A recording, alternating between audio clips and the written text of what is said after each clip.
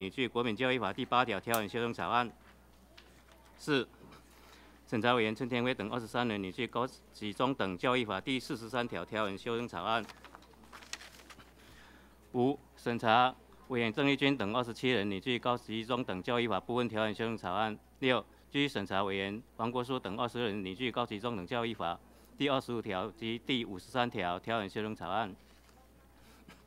七、审查委员黄国书等二十七人拟具《高级中等教育法》第七十六条、第六七六十七条条文修正草案。第八、审查委员黄国书等二十一人拟具《高级中等教育法》第十四条条文修正草案。九、审查委员黄国书等十七人拟具《国民教育法》增订第四条之一条文草案。本日审采综合询答，委员高路一样等十八人提出咨询，经经教育部部长吴世华及相关人员及其答复说明。另外，委员陈田飞。邓丽君书面咨询列入记录刊登公报。决议一：高级中等教育法部分条文修正草案一第一案、第四案至第八案并案审查。二、审查通过条文。草案第十四条，赵委员黄国书等提案通过，修正通过。草案第二十五条，赵委员黄国书等提案修正通过。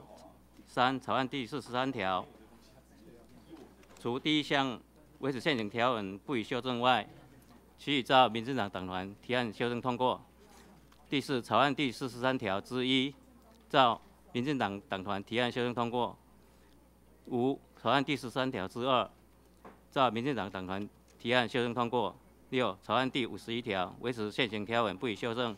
七，现行条文第五十二条，赵委员郑丽君等提案第五十三条修正通过。八，现行条文第五十三条，赵委员郑丽君等提案第五十二条通过。九。现行条文第五十四条，赵委员邓丽君等提案第五十四条及第五十四条之一修正通过。十、草案第五十五条，赵委员邓丽君等提案修正通过。十一、草案第六十七条，赵委员黄国树等提案修正通过。三、调试授权议事人员调整。四、本案不需交由党员协商。五、本案审查完竣，拟具审查报告，提请院内讨论。院内讨论时，推请黄召集委员国书补充说明。二、国民教育法增订第四条之一条文草案及国民教育法第八条条文修正草案。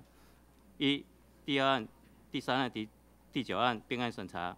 二、审查通过条文。一、增订草案第四条之一，照委员黄国书等提案修正通过。草案第八条，照民进党团党团提案修正通过。三、本案不需交由党团协商。四、本案审查完竣，拟具审查报告，提请院内讨论。院内讨论时，推请黄召集委员国书补充说明。三、对委员咨询要求提供相关资料或以书面答复者，请相关机关于二周内送交个别委员及本委员会。但委临时指定期限者，重启指定。四、第一案至第九案均报告及询答结束。临时提案共六案均修正通过。宣读完毕。请问各位，上次会议议事录有没有错误？如果没有错误的话，我们就确定了。报告委员会今天的议程为继续并案审查委员陈学正等十九人，委员管碧玲等二十四人拟具文化资产保存法修正草案，委员何新存等二十二人，委员黄国书等十八人，委员郑天才等二十人，委员何新存等十九人，委员郑丽君等二十六人。亲民党党团拟具文化资产保存法部分条文修正草案。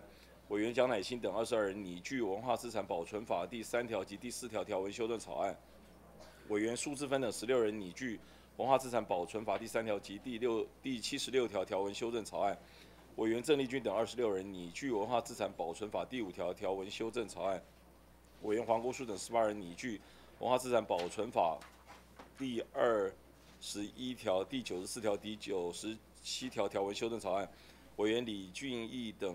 二十三日拟具《文化资产保存法》第九十四条条文修正草案案，修正草案第五条以下逐条审查，不循他进行逐条审查。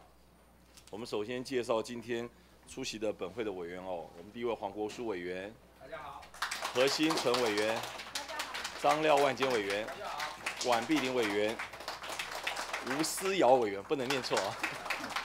苏巧慧委员，还有高入以用委员。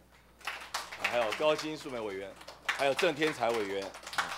那我们教育部呃，请我们的陈永峰陈次长，文化部文化部文化部，我们有我们陈永峰次长，还有我们呃蔡炳坤次长，还有我们许秋煌次长，呃，列席来一起来协商。那这个部长因为今天有事跟我请假半天我，跟大家报告一下。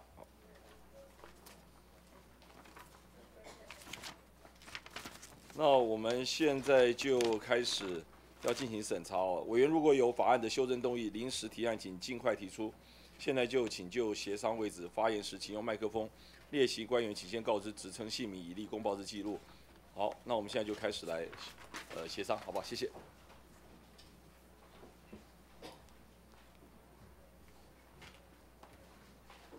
你那个。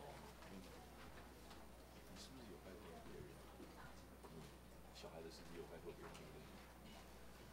对，造成了困扰，所以现在变成不好处理了。人家人家没有答应的对方，变成我在出面，现在有困扰，你懂吗？我这样讲就准确吧？什么董事长？对，不是上面一个，一个他们跟我讲，所以现在有点困扰，好不好？我就跟你报告一下，还在处理当中，好不好？好。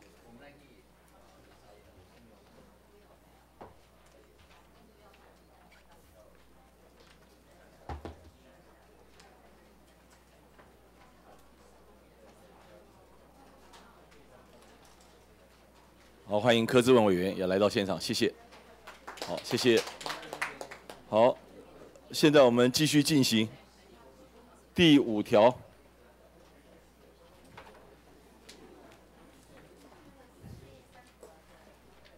哦，关委员，主席，对不起，呃，上一次不是有说那个顺序要调吗？对啊。那是现在处理还是？怎么样？那个条文的那个？就是史记啊，那个纪念建筑啊，那个顺序不是说要调？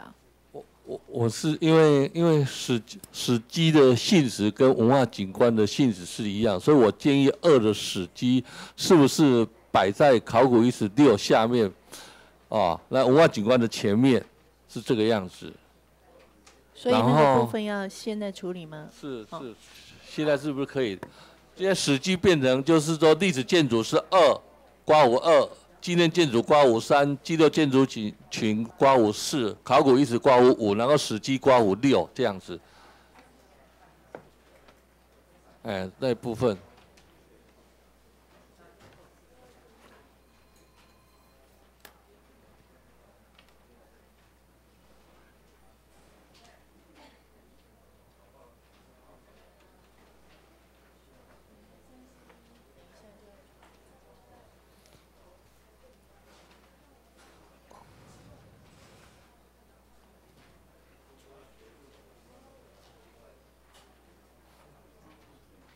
是我们是这样，因为史记我们跟史记跟文化景观摆在第四章，后后面就不要改了，文化景观那个都不要改了。不用改，对。然后那个九那个级要改成顿号了，自然地景顿号自然纪念物才对。我们那一天不是讨论很久，第九款，第九款，第九款的七七不要改，七不要改，对。七先删掉。七没删掉。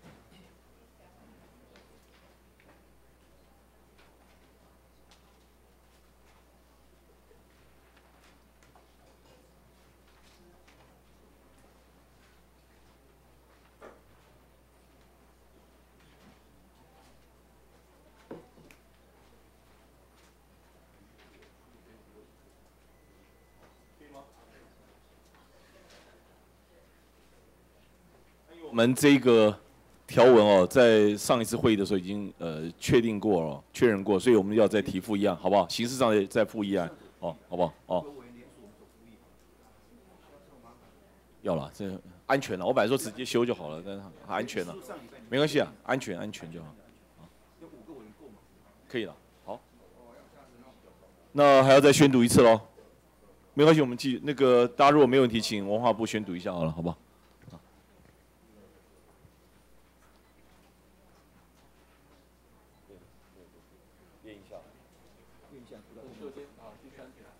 第三条，本法所称文化资产，指具有历史、艺术、科学等文化价值，并经指定或登录之下列有形及无形文化资产：一、有形文化有形文化资产，括弧一古迹，指人类为生活需要所营建之具有历史文化艺术价值之建造物及附属设施；括弧二历史建筑，指历史事件所定着之具或具有历史性。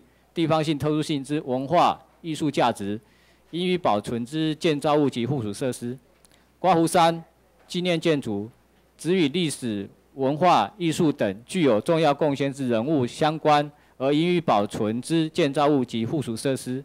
刮胡寺聚落建筑群，指建筑式样风格特殊，或与景观协调，而具有历史、艺术或科学价值之建造物群或街区。刮五。考古遗址指蕴藏过去人类生活遗物遗迹，而具有历史美感、民族学或人类学价值之场域。刮胡六史迹指历史事件所定着而具有历史文化艺术价值，应予保存所定着之空间及附属设施。刮胡七文化景观指人类与自然环境经长时间相互影响所形成具有历史美学、民族学。或人类学价值之场域，刮胡八古物指各时代各族群经人为加工，具有文化意义之艺术作品、生活及礼仪器物、图书文献及影音资料等。刮胡九自然地景、自然纪念物，指具保育自然价值之自然区域、特殊地形、地质现象、珍贵稀有植物及矿物。二无形文化资产。刮胡一，传统表演艺术只流传于各族群与地方之传统表演艺能。刮胡二，传统工艺只流传于各族群与地方以手工制作为主之传统技艺。刮胡三，口述传统只透过口语吟唱传承、世代相传之文化表现形式。刮胡四，民俗只与国民生活有关之传统。并有特殊文化意义之风俗、仪式、祭典及节庆。刮舞传统知识与实践，指各族群或社群为因应自然环境而生存、适应与管理，常年累积发展出之知识、技术及相关实践。那个，比较，呃，回到史记那地方，但美感跟美学好像你们没有同。有的地方用美感，有的地方用美学哦。你回去看，考古遗址这个地方用美感嘛，对不对？好，按你下来下来。文化景观这里用美学，所以是不是都把它改成用美学？是不是比较哈，比较统一嘛？然后你看啊，考古遗址的历史，然后有民族学。人类学，所以这个地方应该是用美学才对了，是不是？好，同不同意？可以吧？哈，好，所以那个感要改成学了，好，考古遗址，无啦，一个有学术，一个没有学术啦，就这样啦，可以啦。是直觉了。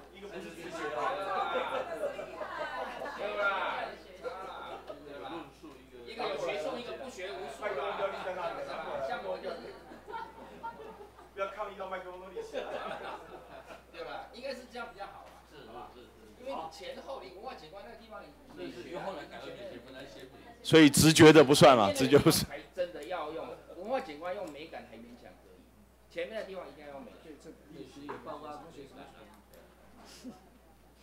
没有，文化景观已经改成美学了。对啊，都改了。对啊，两个都改了。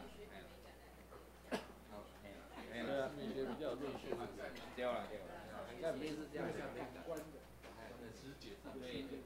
美学就是把简单事弄得很复杂，弄一堆理论出来啊。好，好了吗？这这个条文没问题吗？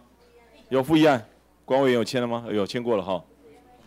那我们复议案就通过好了哈。只有针对文化资产保存法修正草案第三条内容为其周延提案修正如附件，就是如呃刚刚我们所宣读的，那提出复议案。那我们有。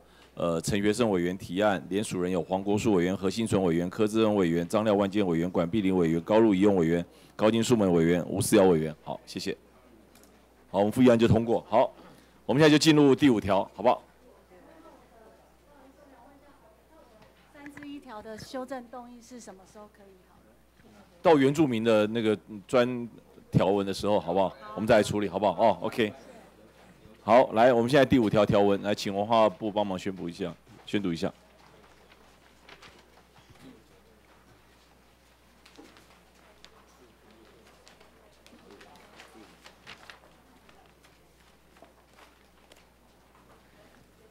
第五条，文化资产跨越二以上直辖市、县市、辖区，其地方主管机关由所在地直辖市、县市主管机关商定之。必要时，得由中央主管机关协调指定。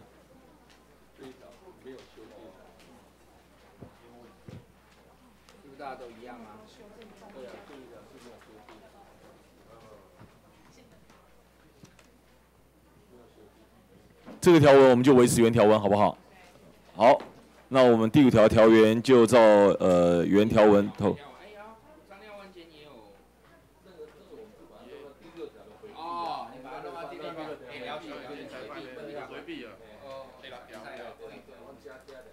好，那我们第五条条文就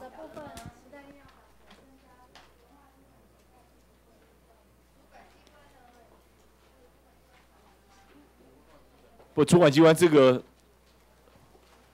就原条文应该没有什么争议啊。对。好，第六条比较稍微可以再讨论一下。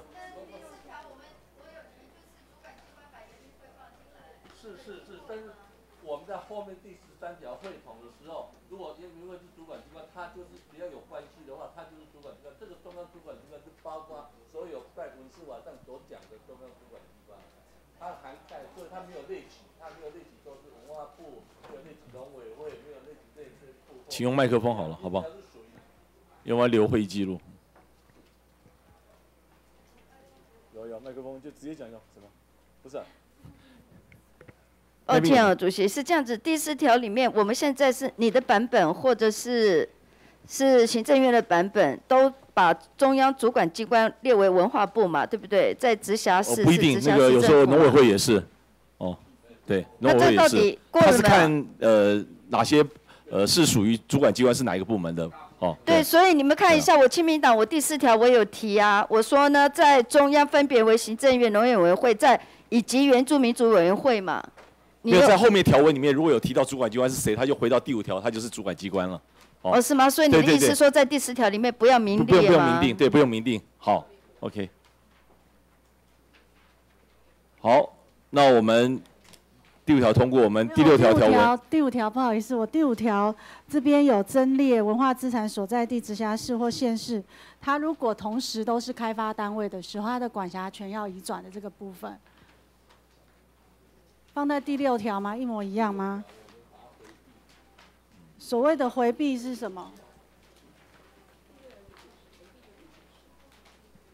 回避的意思就是，如果是县市政府地方主管机关。他自己的开发案的时候，他的那个那个委员会的代表都要回避。对对，地方政府的那个机关代表都要回避。现在委员会的委员这里面大部分三分之二是专家学者，是是府外的地方主管以外的三分之一，有时候是三分之一。那碰到这种市级开发案的时候，我们是认为他们是应该要回避的，就机关代表要回避的。但是我这边认为，就是说，如果说遇到他同时跟跟开发，我觉得回避这个不够积极，哎，就是说应该是要交交由就是，呃，中央主管机关好，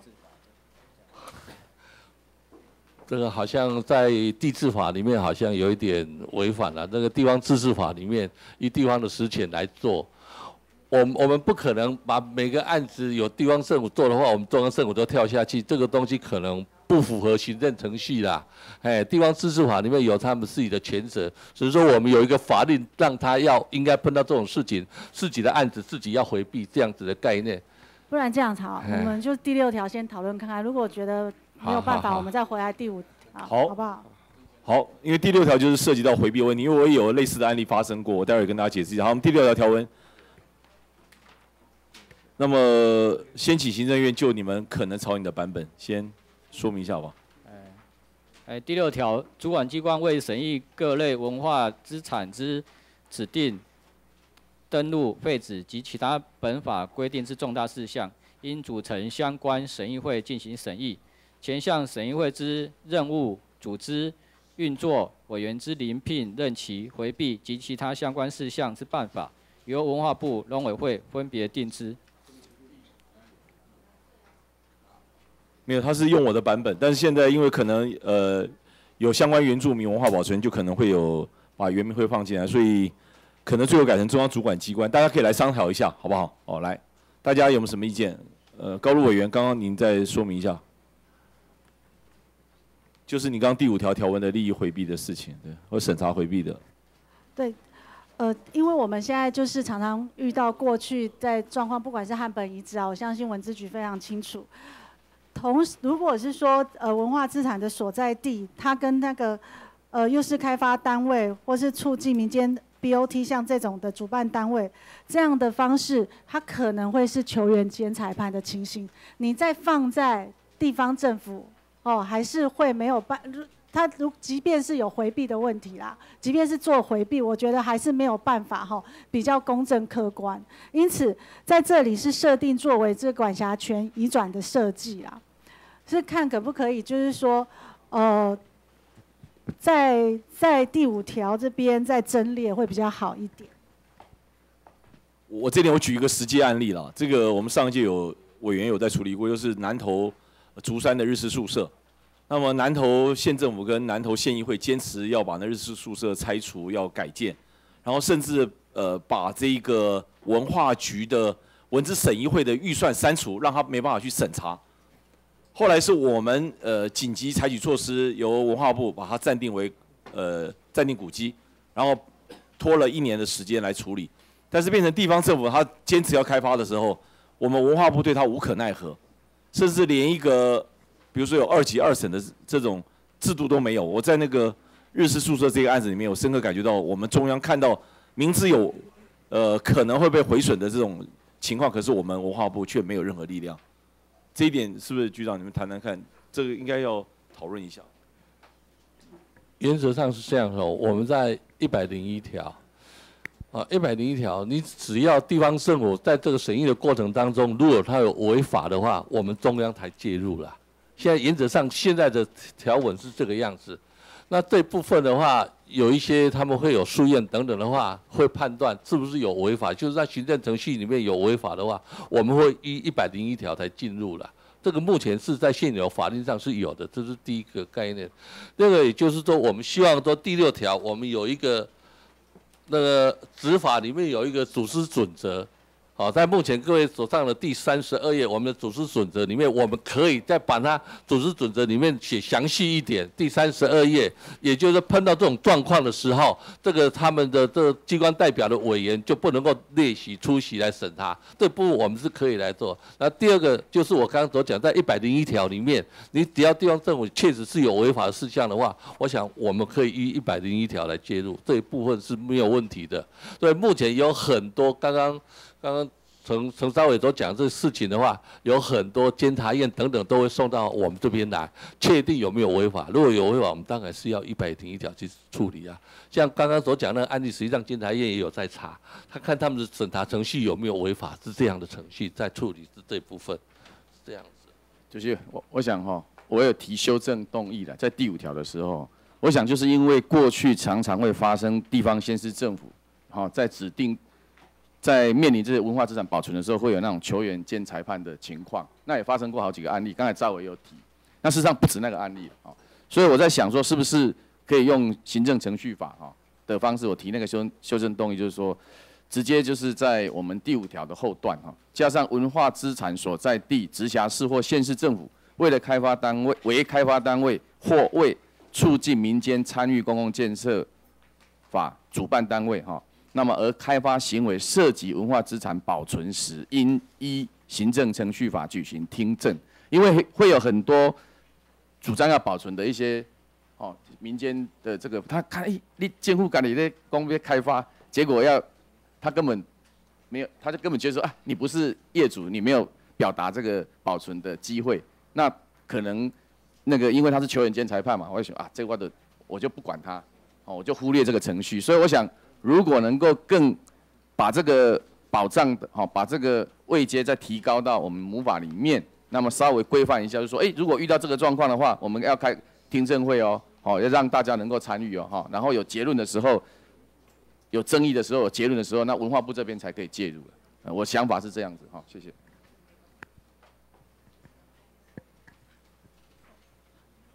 我也是蛮同意，就是张廖委员的的这样的一个想法，但是呢，我觉得还是要还是要再加上，就是说，因为我认为，呃，有关于规范的这个主管机关，它必须跟这个，呃，不是主管机关，就是说，这个规范的课题，它必须要有距法律上的距离，不能就是它是放在同一个哦，由地方地方的这个主管机关同时去。去球员监裁裁判，因为太多这样的问题了啦。你如果没有办法让这个管辖权移转到另外一个，哦，管辖权移转到我们中央的主管机关的话，我我我跟委员报告哈，地方自治法里面就是属于地方权责，我们中央介入。我问一下哈，如果我们审查的结果，我行政处分不是我在做行政处分，也要回到地方政府做行政处分。那地方政府还是不配合，也是没有用，因为我们中央政府是公告的，只做行政处分，只有重要古迹跟国国定古迹那一种方式，历史建筑是地方政府的，也就是说我们帮他代行，那代行的时候也要考虑到，因为做行政处分的话，那也是地方政府在做行政处分啊，也是他们在公告，我没有效啊。我我没有效，我没办法，我可以帮他们开会做行政指导，但是我没办法做行政处分、弄行政公告的程序，所以那个还是要回到地方政府。那如果回到地方政府，如果他还不满意，他还是不做处理啊，他还是可以不处理啊，你知道吗？所以我们实际上这个这个过程当中，我们了解，实际上地方治地方自治法里面有授予他的权限，只是说我们在这审议的过程当中，我们希望他能够回避，也就是说不要。这个球员兼裁判这个概念是这个样子，我想包括其他的环评也是这样子的概念的，是这样，我没办法写在立法说明好不好？因为立法说明也是三读通过，形同于法律。是是。我们要求回避的东西是什么？没有前言后语，就两个字。是好。所以这个部分的内容，你们写个立法说明来给我们审看看，好不好？好，那我们这在组织准则里面，我们也会再修。好不好？对对对对对对对对，我们在这个立法说明里面，我们帮他处理一下。主席，不好意思哦，在第六条我们看到哈，那个相关的文字，你就有文化部跟农委会了。那你如果不把我刚刚讲过，要把它呃不能呃列举，所以就回到中央主管机关就好了。好，OK，所以好好，所以一样哈。因为我看了，如果说你把文化部跟农委会写，原民会没有放，好，谢谢。好，主席，刚刚回避的解决了吗？现在还有。局长，这这，你回避你要用什么方式来说明？用立法说明，你在第。在主主事准则里面，我们也把它说明一下，就是第三十二页的。这个准则里面有，就我们在执法里面，我们也会特别在条文里面也可以特别说明的，有回避的一个要件或回避的一个游戏规则。我想我们可以在这个准则里面先把它处理。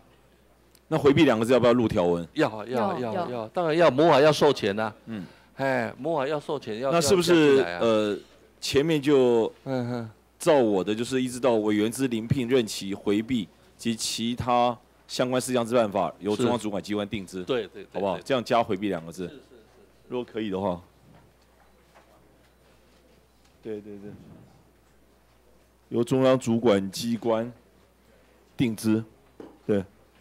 第六条我宣读一下：主管机关为为审议各类文化资产之指定登录废止及其他本法规定之重大事项，应组成相关审议会进行审议。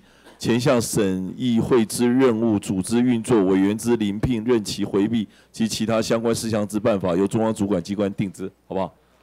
呃，委员是。主席，有关第六条，我有提一个修正动议哦，是不是劳烦各位委员看我刚刚手上有一张修正动议？是我刚刚送过来的，大家看一下。对。第六条是这样，希望能够加列一个第二项，然后第三项配合着修文字哈。那主旨是这样啊，我的第六条第二项的修增记增列文字是这样：主管机关应于审查期间召开公听会，且审议会应开放旁听。公听会与审议会结束后，皆应公布详实会议记录。这是第二项的修正文字。那我简要说明哦，我想这也是符合现在我们在文字审查的扩大公民参与部分，让它入到母法来彰显我们的文字委员未来更为公开透明，而且第一线就开放民众旁听。那我也做个补充说明，我们过去在台北市政府已经成功推动了我们的几个有关于这种委员会的设置，包括都市设计委员会、都审会，还有环评会，都已经有开放旁听，都已经有详实的会议记录公开登载。那独缺文资会的这一块。那台北市已经彰显他们已经这样做，今年三月就上路。那我是认为我们在配合中央文字法修正的时候，回到母法的位阶，在中央级的审议委员会也应该循这样一个呃审议期间召开公听会，而且在审议会要开放旁听，以及他的呃要公布详实的会议记录，这个部分能够入法，这是第二项的修正条文。那如果呃第二项的修正对，那如果获委员的同意，在第三项会有一个配合的文字的修正，也就是加在什么什么委员之临聘、任期回避及其他相关事项之办法，与第二项审议会旁听之准则，皆由中央主管机关定之，就加列一个旁听准则的这个部分，也要由中央主管机关定之。这个是应该把它放在运作里面，就应该去做说明吧。如果你这样特别强调公听会，那其他是不是就不一定要举行了？什么？意思就是说，因为我们原本的第二项里面，呃，就有谈到就是运作，哦，那运作他们会再去定一个相关的办法出来嘛，或准则。那如果你今天特别在呃母法里面就加公听会，那是不是其他就相对就比较不重要？所以是不是就不必再去特别强化公听会？所以我。我我可以叫他们在准则里面就要放。我我我是不建议哈，在回避的后面加一个旁听，那一样我也是在准则里面由中央主管机关定制他的一个旁听的游戏规则，这样就好了。旁听那还有公听嘞，还有什么听？不是啊，那不完嘞。不那，我是想这样这样请教了哈，请教了哈，以你们的经验呢，以我的经验呢哈，就是说。呃，文资法让它变成是帝王条款，权力很大。我一直是很乐于如此。为什么呢？因为文资的指定哈，第一个它很大的部分涉及专业啦，好，你怎么诠释这个文化资产值不值得指定？所以它是属于专业度比较高的领域。第二个哈，它涉及相当大的利害关系了，尤其是我们指定的很多文化资产其实是私人的产业，所以他去讨论，呃，就是说。它的特定性比公共性更更大，就很多公共政策我们在制定的时候要有公开的程序，哈，行政程序上要公听会等等，都是因为它的公共性很大。但是文资审定，哦，反而是它的特定性比公共性更强。那你如果让它变成公共性的时候，譬如说我周边的居民想要开道路，你却要指定资产，公听会决定一面倒在吵架，我不准你指定，因为涉及我们的那个道路开辟。利益太大了，所以我是比较建议说，在文字法的这一块，由于它的专业性跟特定性大于它的公共性，而且它的指定与否、哦保存与否涉及的涉及的是，呃，有时候会涉及的是一些利益、重大利益上面的剧烈冲突。好，所以我是比较建议说，有关于这部法典，它在行政程序上是不是我们还是维持过去的运作模式？这样会不会比较不会冒着太大的风险，增加未来所有指定上面的，呃，不可预测的那种呃情境，好不好？呃，我再做个补充哈，呃，其实我们现在是在做一个回应社会期待的的事情。其实很遗憾啦，在台北市最近，你光从南港瓶盖工厂，包括三井，在整个文字审议的过程当中。因为没有开放旁听，我倒不讲说他的专业讨论是不是有黑箱，是不是影响他最后决策。其实我都尊重专业，只是说在回应一个，因为我认为，就像我们过去常在开环评会，或者是我们列席去开都市设计审议委员会，或是那个那个都市计划委员会，其实那个旁听就只是你彰显你这个会议是 open 给大家。那我为什么又提说，呃，会议记录要公布？其实这个现行的操作也没有困难。其实你们现在也是有公布，只是你们的公布在一些呃委员的发言或是什么，你们是以你们公布结论，然后委员发言是以略的方式来处理。我觉得这个都比较难去回应现在日益高涨的这个对于文字审议更公开透明的这个需求。那我某种程度也同意管妈所说的，说这在审议会当中当然是非常涉及专业性的讨论，但是。呃，大家是不是思考一下，它是一个旁听的状况？我们在环评会的过程当中，这些旁听的旁听的公民团体，它的意义是它可以在现场 watch，这是一个公民审议的过程，而不是他在参与那个决策或讨论。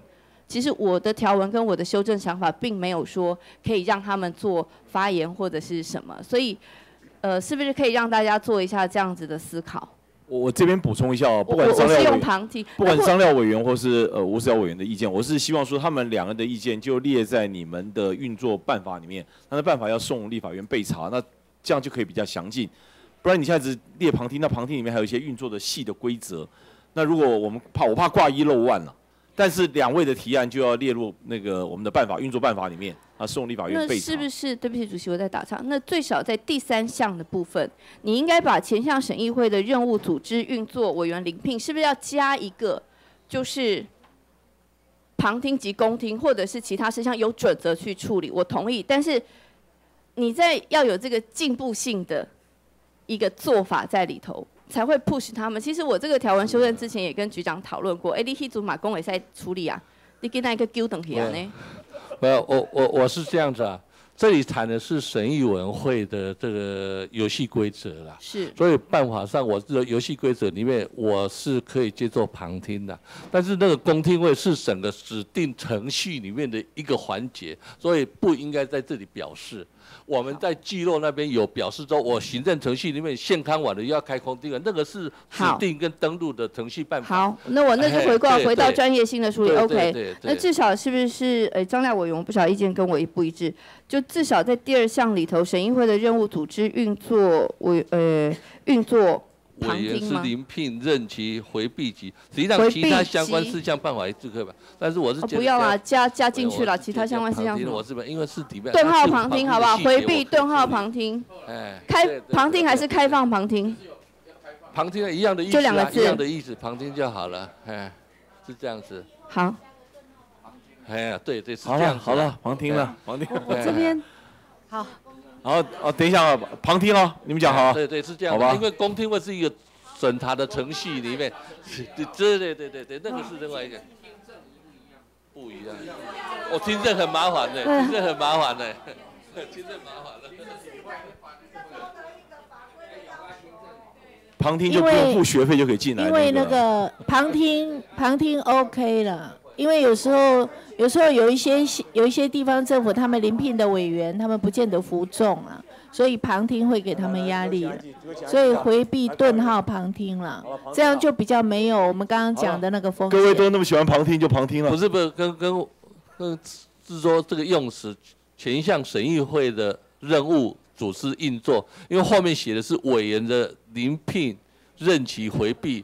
这个旁听会不会跟这个会不会混在一起，跟委员的聆聘？对对，所以应该是任务主司应作顿号，旁听，哎，是这样子，应该是这样子。然后这个顿号委员是这样，这样可能比较不会误解这样子啊。好，我们这边还有什么补充意见？是人事总处吼，那那个第一呃第一项的部分那个组成两个字可不可以改成召开？那这部分我们是呃有参考那个水下文化资产保存法，还有国土计划法吼，在这个会议的部分我们都是改用召开这两个字。我们这边有相关的条文可以参考。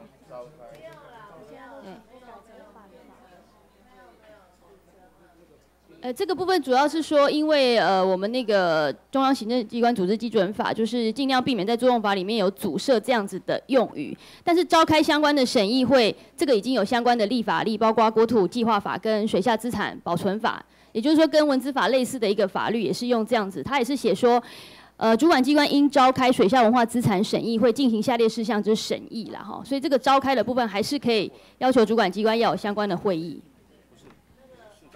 这个很奇怪，那它跟本意差很多，不然你就是哈，应经相应经审议会审议嘛，或应经相关审议会审议。你如果说什么组成跟召开，你要把它改成召开，那个本意差很多哎，啊？水下是我本来是写组成，被他们改的。嗯，那个没有道理，那个没有道理，没有啦，你们法律的不一致性太多了啦，不要为了这个召开跟组成组成要让它变成有一致性了，乱七八糟的一堆啦。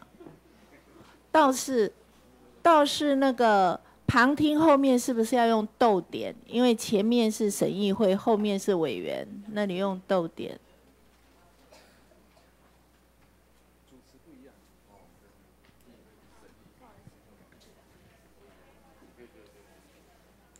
我这里。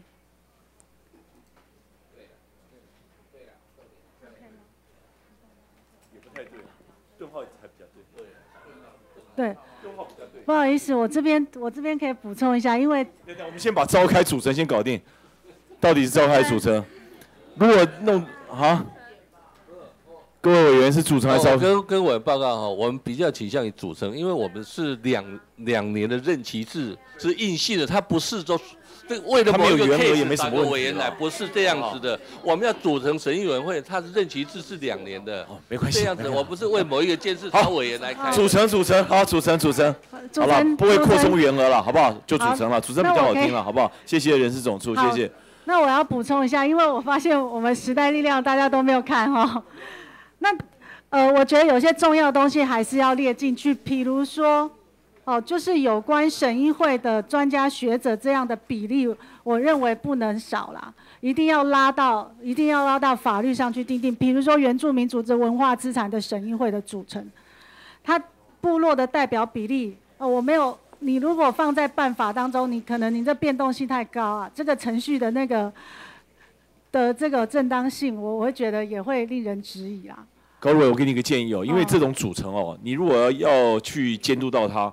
你就要他那个办法要送立法院备查，在备查过程当中，你就可以再给他更多的指证的力量。如果你要在母法里面定进去，会会挂一漏万，好不好？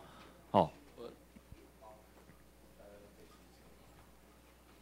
呃，那那这个可不可以再加上，就是说，如果像这个审议会遇到重大争议，应该举行听证，列在这边第六条这个部分。我们把它旁听放进去，就是要做听证的，对。对，对，各位放心，各位的委员的意见都会很清楚的表达出来。好，那林委员是，谢谢。我这边大概有几个部分，就是呃，其中一个部分，我们之前的这个主管机关是呃。就是说，这个部分我们把主管机关的部分改成由文化部会同农委会环保署，因为我们在前面呃有讨论到有些地方牵涉到是地景或者是呃一些地质公园等等的环境，所以这边是不是呃把就用中央主管机关不列举了？不列举了对，用中央主管机关。对，现在的条文就在上面，各位现在共识的条文在上面。因为呃，那如那接下来的话，我们这边的修法的意见包括。其他的补充就是第一个事情是，如果这个文化资产呃涉及自然环境空间影响跟都市计划权益，呃我们会建议要增聘这个环评委员。好，所以这边我们的我们用的词是须于审查委员中增额聘请环境评估专业委员。环评委员里面会有个文字的是什么意思？文字这边不用环评吧，因为我们会牵涉到的是，我们那天谈到有地景等等的问题。对。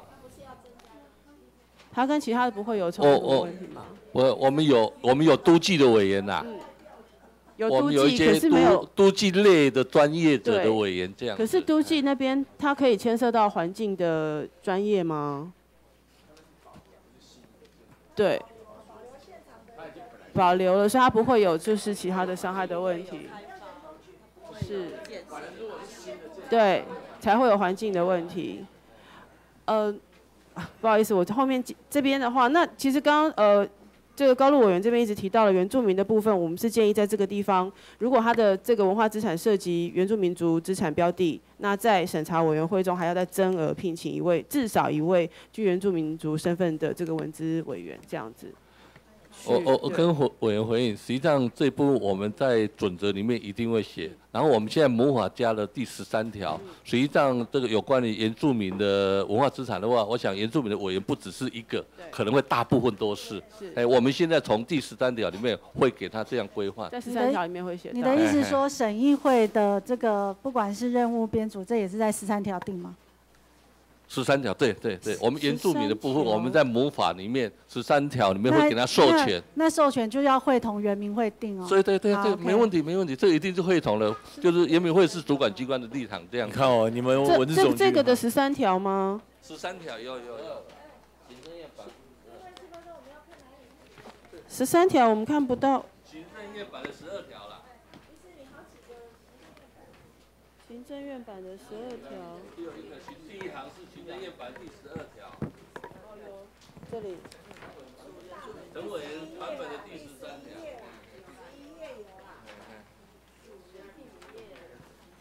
各位看那个二零一六年四月十五号行政院版本这个，就是第一行的第一列的这个，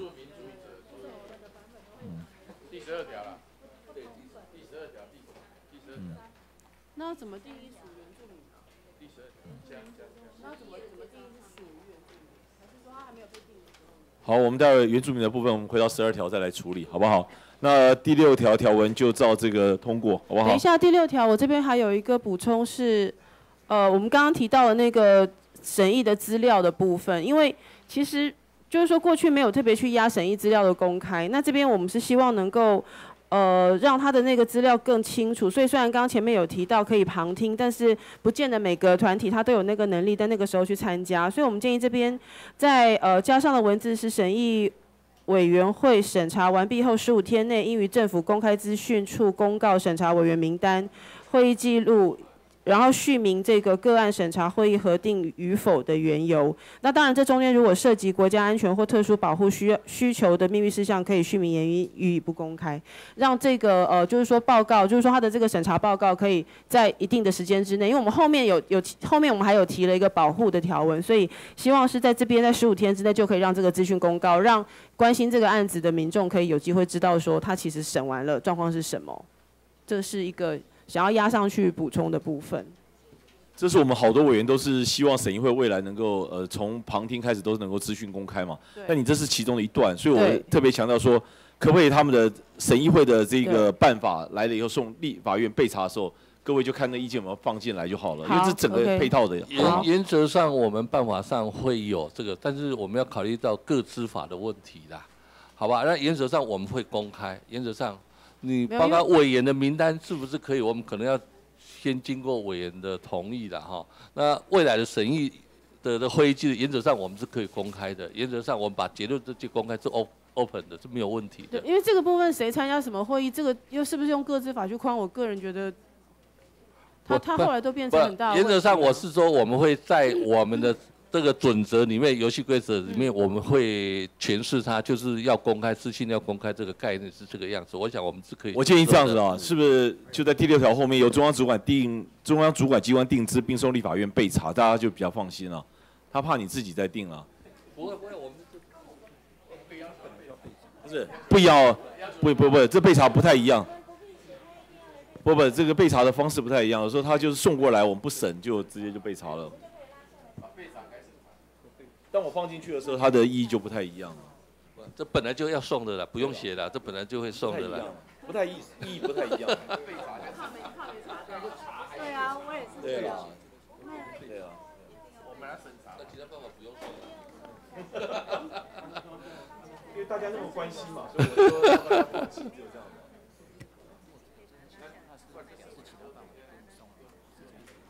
好了，不然我们就做好了。这样就好了啦，我们好还是会送了。好，大家有共识了，好不好？就一定要送到立法院了，好不好？哈，我们就不准你核备了，好不好？好好好。不交不交不交了，不交。哎，是曾委员。有关这个第六条哈，还是要厘清一下，因为如果按照文化部所提的行政院版本哈，就包含这个后面讲的第第十二条啊。就没有包含指定啊、登录啊，哦，他只有后面只有提到这个保存维护啊等等。如果按照陈学圣委员的版本，当然就有包含指定登录，啊，所以这个文化部要先讲清楚啊，我们才可以考考量说啊，这个要要从要不要从第六条移到后面那那条条文了。我们十二条我会把你的意见纳进来，到时候一定会把各位讲的就详细列举出来，好不好？刚刚就跟局长谈过了，哦。哦，一定会的，好不好？我们待会到十二条的时候会呃特别处理原住民的部分，不处理完中午不休息，好不好？好，好，好，那我们第六条就照这个条文哦，好不好？大家再看一次，好不好？主管机关为审议各类文化资产之指定登录废止及其他本法规定之重大事项，应组成相关审议会进行审议。前项审议会之任务、组织运作、旁听委员之临聘任期回避及其他相关事项之办法，由中央主管机关定之，好不好？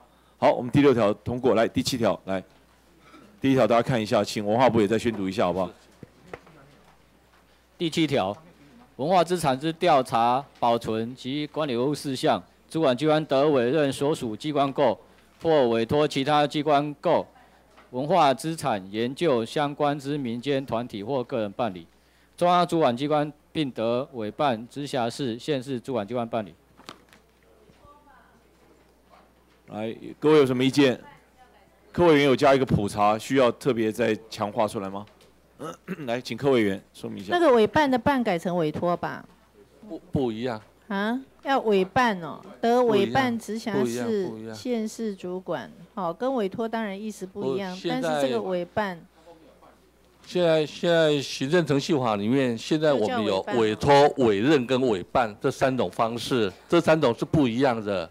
那行政程序法里面是委托跟委任是可以委托民间的，委办是委办地方这个下级一个机关，这个这三个用词在行政程序法里面是有特别的意义的，这是不一样的。哎，那个权责就变成放到下面去了呢。你委托的话，哈。责任还在中央呢，委办的话，责任就变成是地方了。意思是说，我委办的话只能给这样，那你委托当然也可以给地方、机关、机关都可以啊。对啊，那为什么你为什么你不用委托用委办？差别在哪里？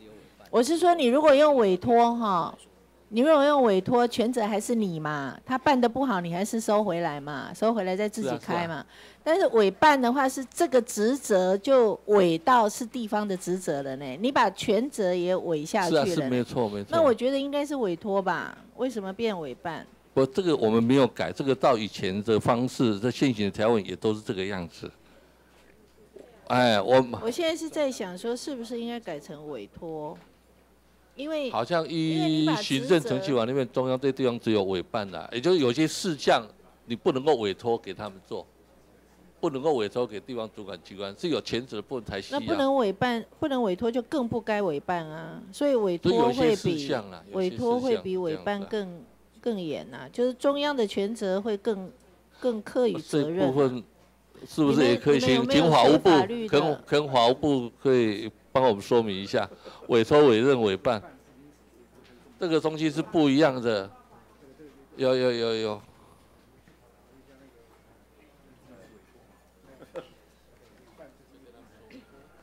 嗯，报告委员，那依照现在的那个行政程序法的规定的话，只要涉及到不同的这个主体的话，就是像中央机关跟地方机关，它是不同的主体。那依照行政程序法的规定，就是要用委办的一个方式，对。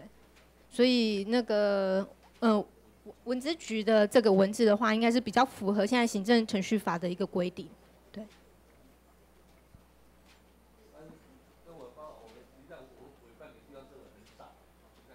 麦克风打开一下，麦克风，麦克风打开一下。那个柯委员，柯委员刚刚先。呃，我建议啊，就是在这个第七条里面增列第二项嘛，因为原因就是大家看一下，因为地方主管机关为办理文化资产之普查，得向中央主管机关申请经费补助。然后呢，为什么要增列这个部分？因为就我们了解，目前地方政府对于这个所谓文化资产的普查工作很不积极，所以只是要促进地方政府确定能够定期来做个普查的工作。那由中央主管机关来编列预算来补贴的话，势必会让他们在这样一个行动上面会更加具有积极度。所以我建议是能够增列在第七条里面增列第二项。OK。跟跟委员报告，实际上现在是有。现在是有，现在我们的补助办法，包括所有的普查，各个类别的普查，都是我们来补助各地方政府来做的。我们那我们现在在第八条里面，现在目前的陈学圣版本里面，陈道伟的版本里面，哈，就是有关第九页这部第八条，主管机关必要得予以补助，前项补助办法由中央主管机关定之，这个就涵盖所有的部分了，是这样。公有的啦。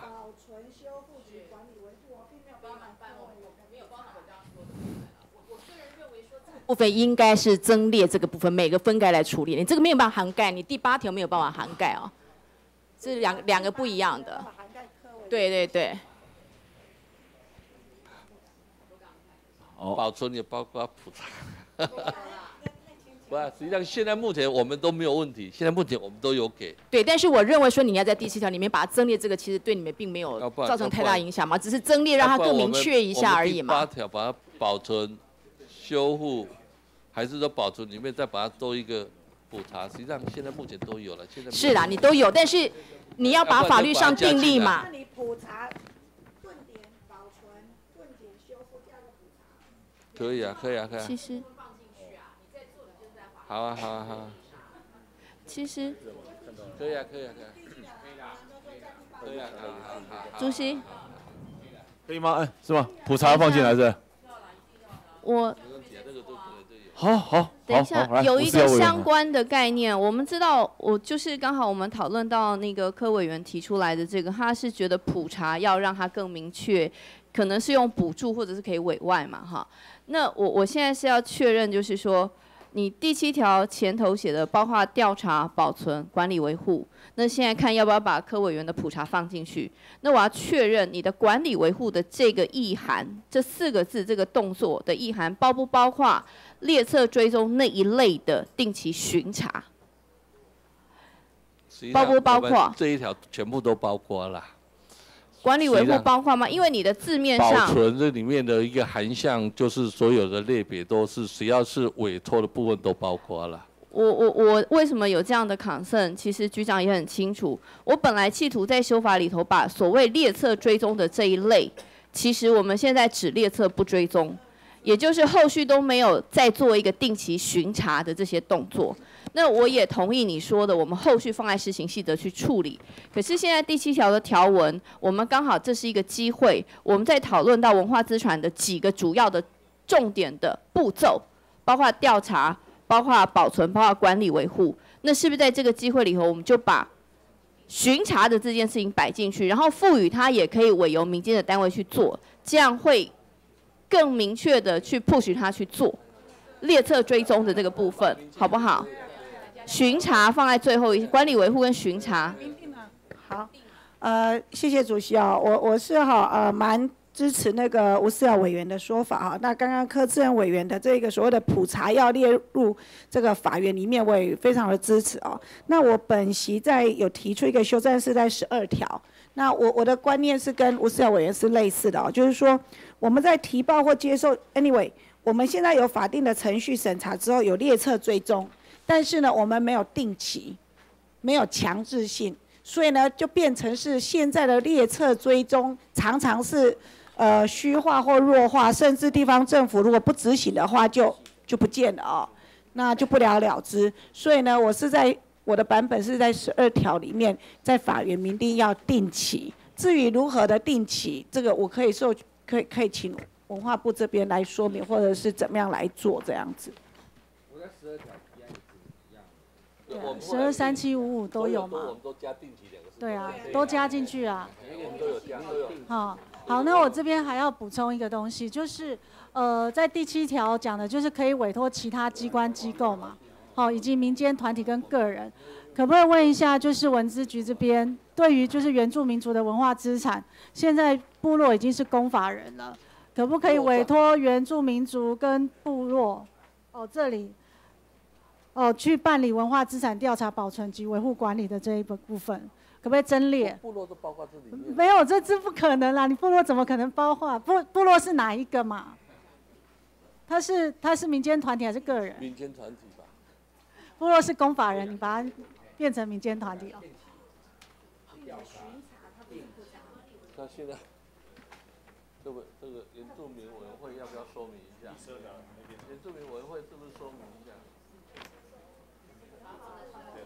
原住民委员以说明一下？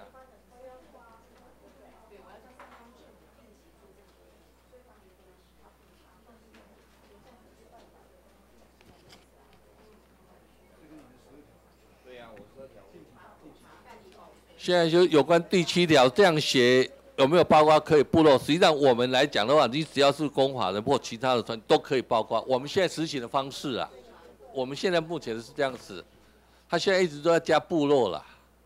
原住民族啊，跟主席报告是，因为目前立案的公法呃，原民会是吗？是。呃，请说明。部落他是当然就是公法人，可是他会不会立案？我觉得这个这个是有疑义啊。可不可以在这里争列？最后就原住民族的文化资产的主管机关，可以呃委托部落跟其他原住民族团体办理文化资产的保存及管理维护工作。我们请原民会说明一下好不好？这里，哎，主席。哎。是是是，呃，因为会里面针对那个部落公法人的呃。呃，目前正在立法了哈。那因为呃，部落公法人以后他就是会具有呃所谓公法上的一个地位，所以他可能就是他也会是个团体。所以如果说假设第七条要包含到就是部落的话，他可能就不能说他是民间团体，因为他是具有公法人的一个地位。目前是目前是民间团体了，要等到修法以后才知道吗？已经修法了，是，对对对，已经修法了。你不是说修法以后还可以兼具公法人吗？不是，我意思是说，他现在正在就他怎么认定这个程序去做一个立法啦。不过因为在那个原住民族基本法的那个规定，他已经是具有公法人的地位了，对。所以这样的话，可能如果是写民间团体的话，可能就他就不会是民间团体，对。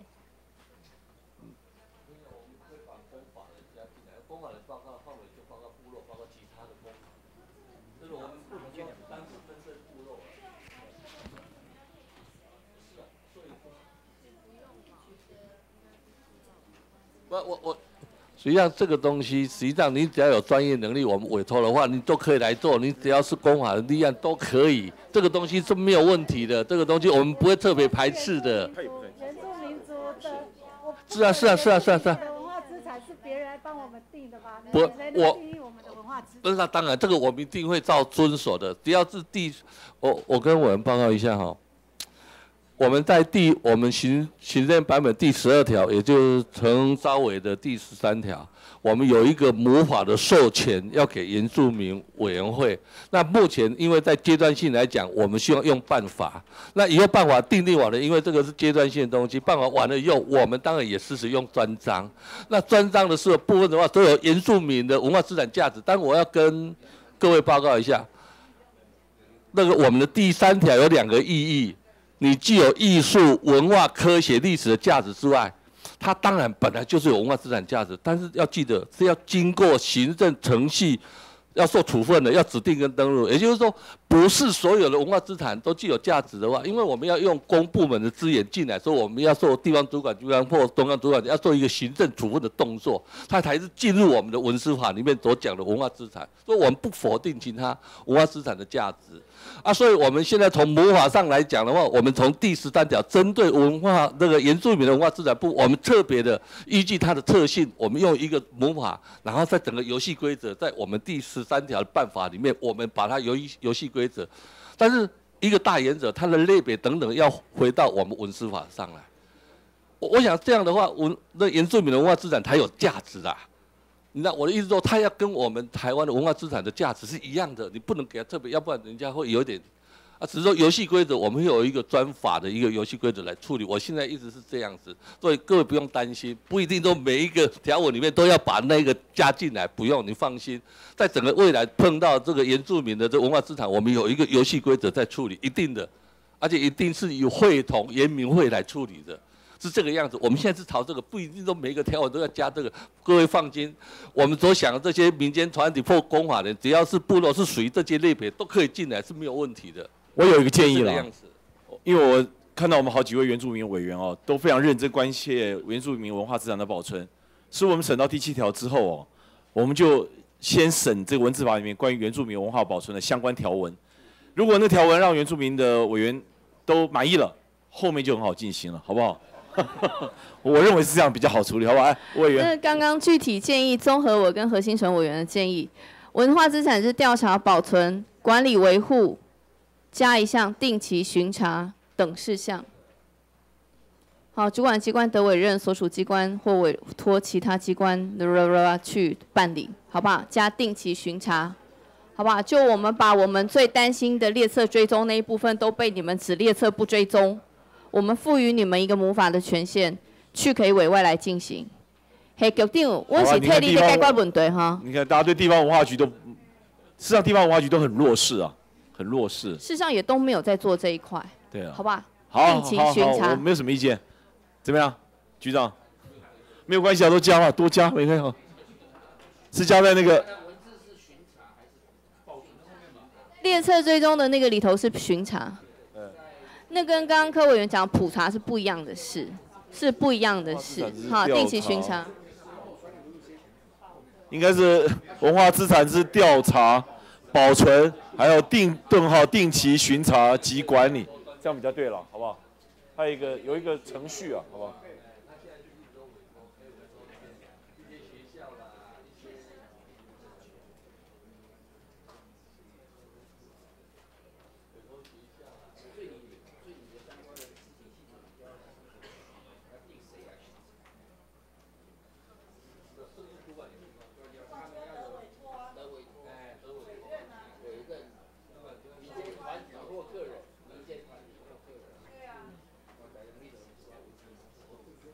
有都有在做，有这样做，污染污染污，外力供污染做，有有委托民间做，维持工作中好不好？第七条条文大家看过，如果没问题，我宣读哦，不要叫我再重念一次，好不好？好，哪一个？普查我们摆到后面，跟那个黄国树委员第十二条有一个。十二条，你看我的版本，十二条。没有我们。十二条之后再加上你。就正好完美，好不好？哦，所以，所以客委员的客委员你会放到十二条来处理，好不好？经费来源。我，第第七条调查实际上也包括普查啦，因为我们所讲的文化资产调查是涵盖普查那些都包括了。所以我建议客委员的建呃那个条文放到第十二条跟黄国树委员呃并项处理比较好，好不好啊？那我们第七条各位看一下，没有问题，我们圈读完我们就进入原住民的专章，好不好？好。第七条，文化资产之调查、保存、定期巡查及管理维护事项，主管机关得委任所属机关跨湖购或委托其他机关跨湖购文化资产研究相关之民间团体或个人办理，中央主管机关并得委办直辖市、县跨湖市主管机关办理，好不好？第七条，好，我们就这样通过。来，现在请那个文化部把有关呃原住民文化资产保存的条文，呃，告诉我们所有的委员，好不好？在第几条条文有？好不好？我想我们行政院版本第十二条，因为是去年的这个行政院版本，所以接收到我们原住民委员的一些提案的时候，我们就修改，然后并到这个行那个程学院的版本里面。所以我想我们先读我们招委的版本，这样子好不好？哦，因为是这个行政院版是去年的，然后今年因为送过来就没有再修，所以我想我们自己程学院版本来说明一下。还有没有其他条文？第十二条、第十三条也有吧？对对对对，十三。好不好？来，称文版本第十三条，原住民族之文化资产，其调查研究、指定、登录、废止、变更、保存、管理、维护、修复再利用及其他本法规定之相关事项，其处理办法由中央主管机关会同中央原住民族主管机关定之。是会同。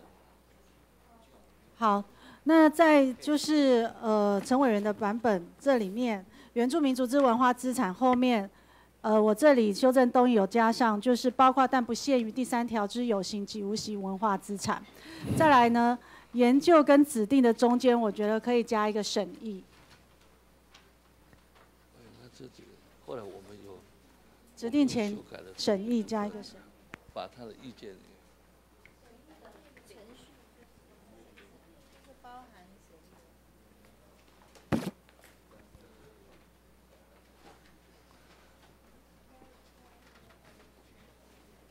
呃，我们文化部有修正的动议，我们请文化部呃宣读一下吧第十三条会诊前两次我们审查的那个一些建议。这一份看看各位看这一份哈，这个三条里面，我想，我我们我们先请我们同仁先读一下我们这一份的第十三条这部分。哎，各位，请看我们修在修正建议的第十三条哈。我们现在是把那个授权事项，我们把它条列化哈，就是原住民族文化资产所涉下列事项，其处理办法由主管机关会同中央原住民族主管机关定之。一、调查、研究、指定、登录、废止、变更、管理、维护、修复及再利用。二、具文化资产价值但无法依第三条规定类别办理者之保存事项。三、其他有关原住民族文化资产之保存事项。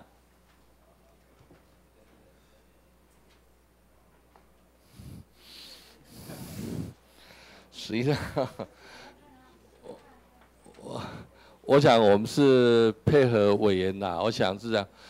实际上，道理来说应该是没有其他事项，因为各个类别实际上都包括原住民的文化资产，不会没有不会有说有第三条以外的类别啦。但是我想，为了让原住民委员，我想因为我想我们可以加了，我想是这个样子啊。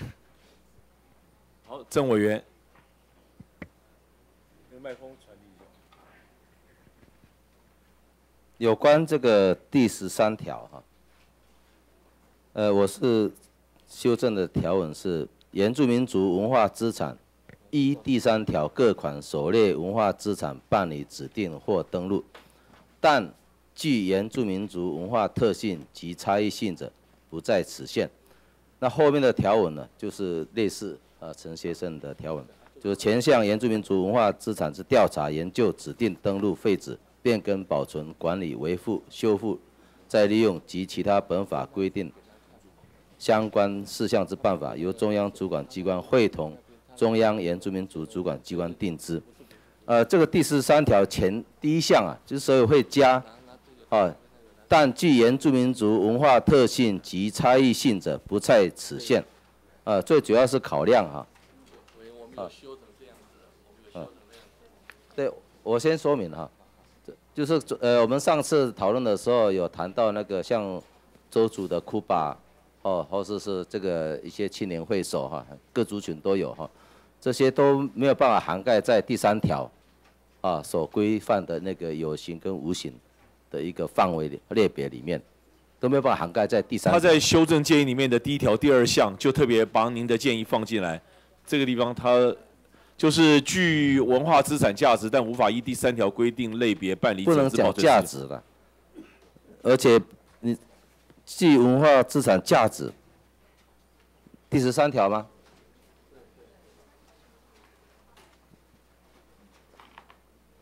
具文化资产价值，但无法依第三条规定类别办理者之保存是。嗯。嗯。呃，不太一样啊。哦，我这边写的这个，哦，具原住民族文化特性及差异性者，哦，不在此限。我我这边写的是这样。这当然文化部也可以看一下我的条文了哈。当然我更希望啊，我其实我们更希望把这个这一句话，就是说你那个但可不能影印给大家看一下？因为还没有影印下来，好不好？就但具原住民族文化特性及差异性者，不在此限。如果这句话如果能够回归再放在第三条是最好。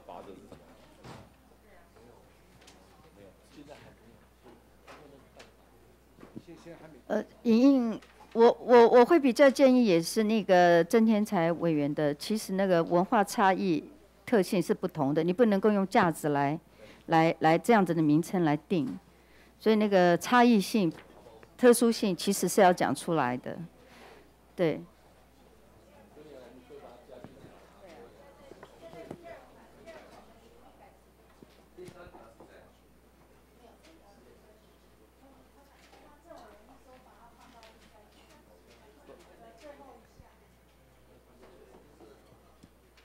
放在第三条的话，哈，如果放在第三条的话，就是只有我第只有那一句话，就有但书那一句话了，只有但书那一句话，就本法所称文化资产，只具有历史、艺术、科学等文化价值，并经指定或登录之下列有形及无形文化资产，但，啊，就开始但啊，具有文文化特性、差异性的哈，不在。实现就是说，因为因为第三条是在分类，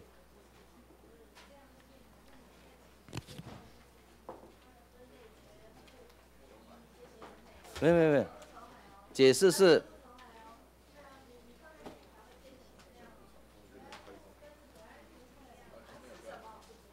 不是不是不在此限上，现在第三条所列的都可以，但是如果这第三条所列的不。不不不，我们法制单位，法制单位是没有错了，是法制单位。这个就是说第三条所列的各那那那各款之外，还还可以另外依原住民族的文化特性跟差异性来另行指定的。我那那我我我刚刚有解释了一下，既有我们文资法所讲的文化资产。是两个程序，一个就是它具有那些价值，第二个它一定要经过地方政府的行政处分，这个很重要。那未来你像其他的类别的话，它要归哪一个类别？那谁来做行政处分？也是要回到地方政府去啊。那回到地方政府去的时候，它还是要回到第三条的类别的公告的项目来公告啊。对对。不是，所以，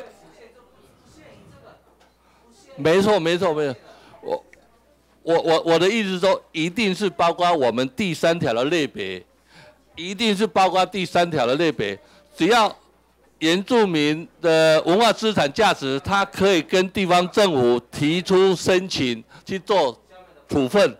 提出申请去做处分，那现在问题是因为现在我们委员会的委员大部分是汉的，所以有时候对原住民的委员不了解，那个原住民的文化价值不了解，所以我们才第十三条做一个这个审议委员会，大部分都是原住民的委员，我想他们对他们本身的原住民的文化资产价值会比较了解的话，他还是会给他归类，但是他还是回到第三条的归类里面去，这样这样原住民的文化资产价值才有价值啊。我我的意思说，他不是特殊的，他还是回到这里，只是说他在判定的时候，这些委员，因为我本身是原住民的委员，所以我知道原住民委员的价值，他知道前世，他知道前世，他跟汉民主的委员前世会不一样，这一定是都可以归的，我保证各位现在就原住民的委员的文化资产价值都可以归在第三条了，没有问题的。那只是说在程序上我把它加进来啊，这个东西只要有原住民的委员去做判断而已，这个我们就尊重原民会、原民原住民委员会的，还有一些原住民的委员这样子一个判断而已。他接的是就是是，然后他一定是归在第三条的各个类别，一定的，你放心。尤其我们现在无形的在各位委员的兼职事下那个，是吧？可以啊，可我们把不。价值我们无法接受啊，这个这个也也没有问题啊，这个这我应该 OK 啊，这个我是觉得也 OK 的。本来我们讲用条列式的比较清楚，那加这个应该也 OK。我有看，我有看一下。把那个架子里面哈，嘿嘿嘿，对对对对对对对对对，我就这样这样啊。对对对对对对，我我想就我们就这样讲。好，你可以跟他讲，你叫他改，你叫他，你就叫他改。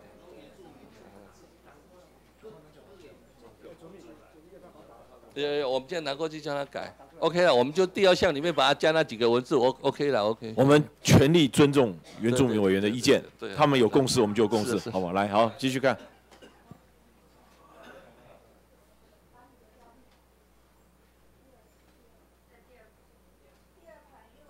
对对对对对对对对，是是是是是。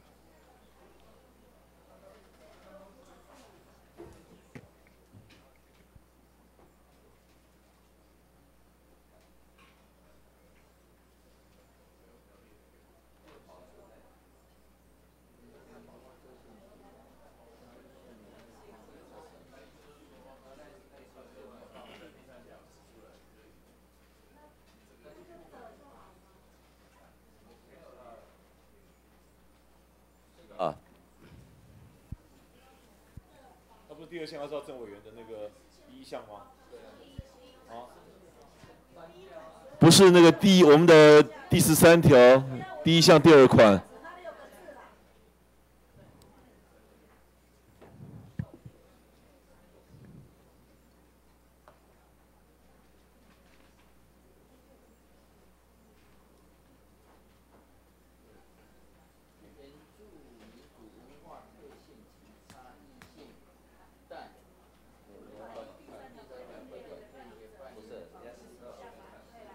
到前面看。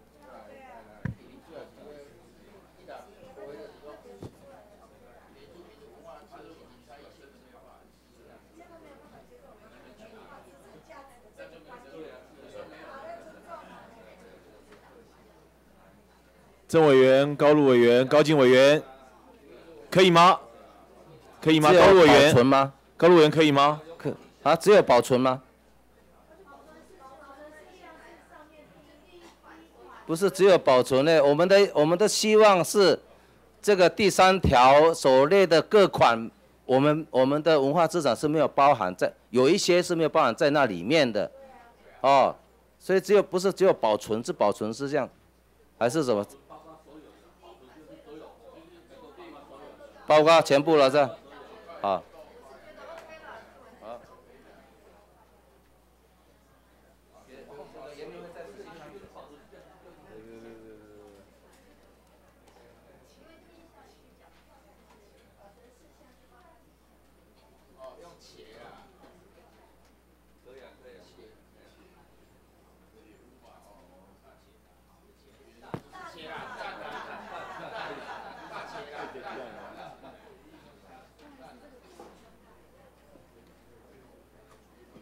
呃，我的建议，你是不是以文字修正？你第二项又是保存事项，然后第三项就是其他有关原住民文化资产的保存事项，好像一直在那个文字是不是太多了？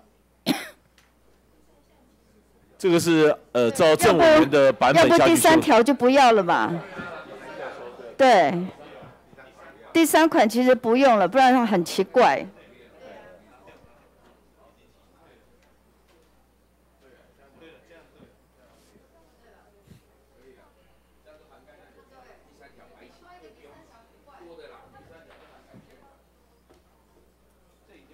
来，各位委员再看一下，包括苏委员，苏委员也看一下，嗯，看一下，你可以融合贯通，可以哦。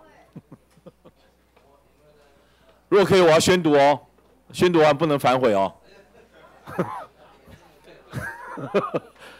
第十三条，原住民族文化资产所涉以下事项，其处理办法由中央主管机关会同中央原住民族主管机关定之。一、调查研究指定登录废止变更管理维护修复及再利用。二、据原住民族文化特性及差异性，但无法依第三条规定类别办理者之保存事项。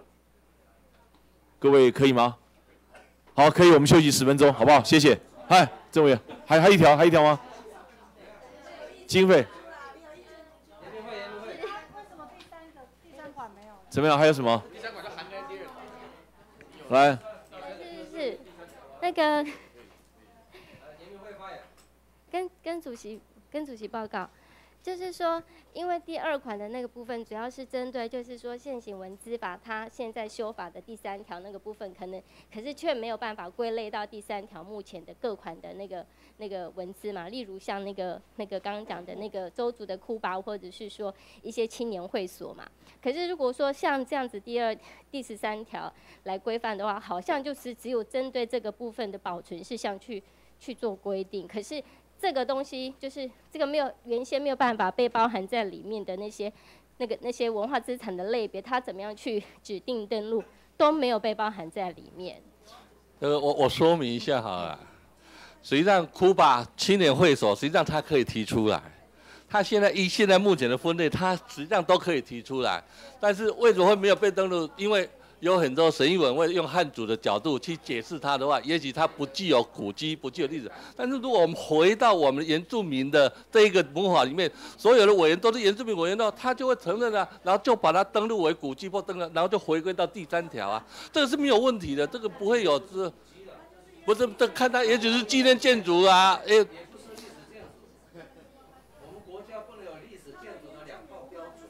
对对对的，说我们。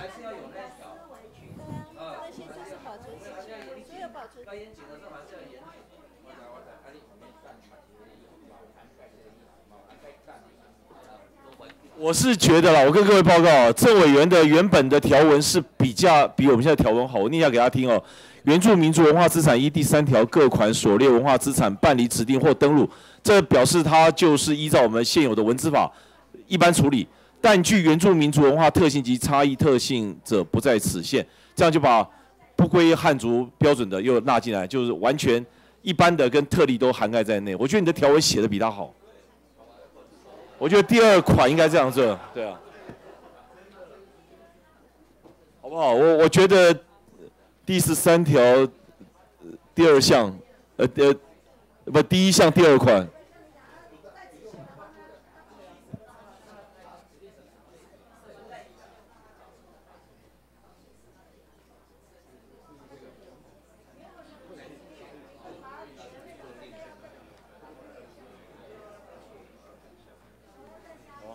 我 我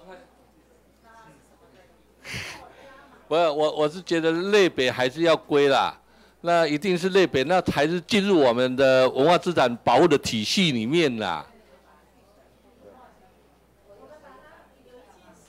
有一件事情，我们把它讲得非常清楚。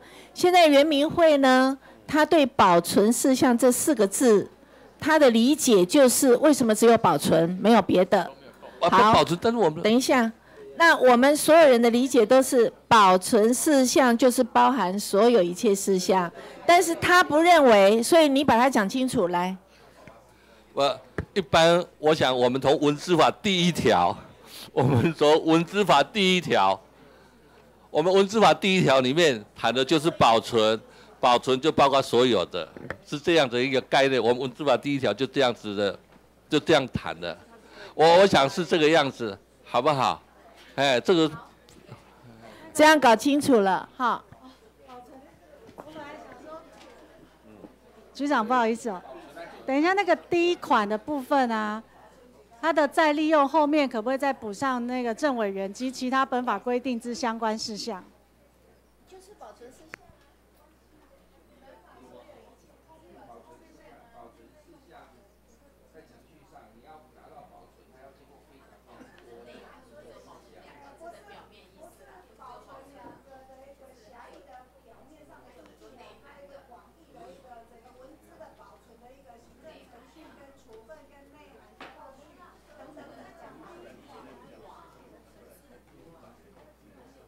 搞路的意思是说哈，搞路委员的意思是说，在那个第一款哈，第一款的最后一句话，啊，再利用及其他本法规定相关事项之办法，啊啊，这四项哈，及再利用那边呢，不是及再利用了，第一款第一款，第一款啊，第一款及其他。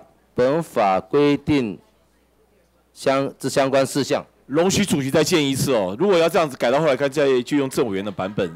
我觉得政委员版本干脆你写的还比我们现在这样改好。大家看一下郑委员的版本好不好？郑委员的修正条文，我再念一次给大家听哦。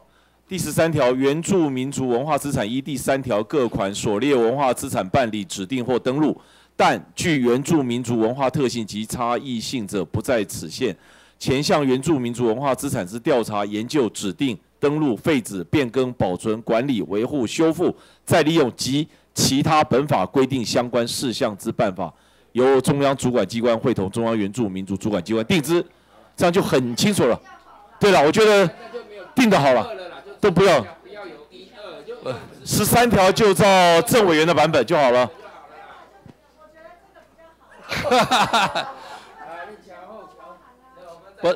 不是啊，现在这个这个郑委员的版本有点会把第三条这个类别这个推翻了，也就是说我还有其他的类别，我现在一直是这个样子啦。你知道，因为那不在此限嘛，他讲是三条，所以我建议还是回到我们这一部分这里啦。啊，我是建议啊，这个条文要按照原住民的思维去定这条文啊，这才是尊重了，好不好？他们，好吧，我们休息十分钟，请三位原住民委员、四位还有苏委员给我们建议一下，好不好？我们休息十分钟协商，好，休息十分钟。对对对对对，要尊重人家了，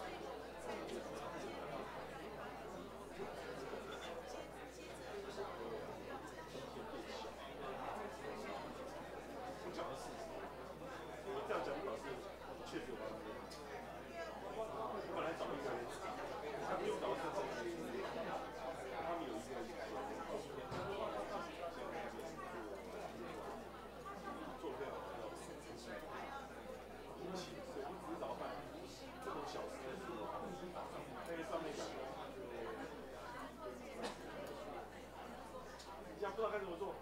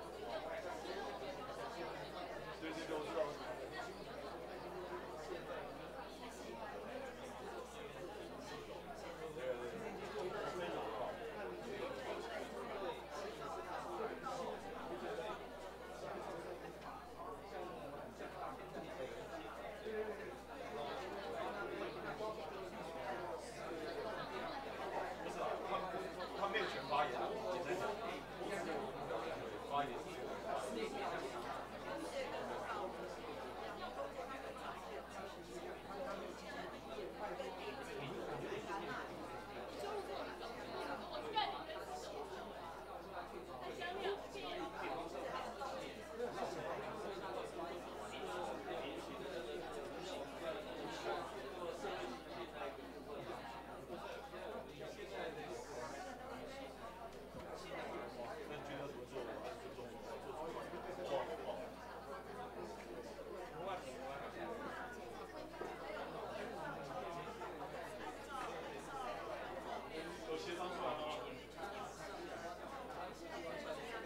哎，郑委员呢？高金委员，你们协商好了吗？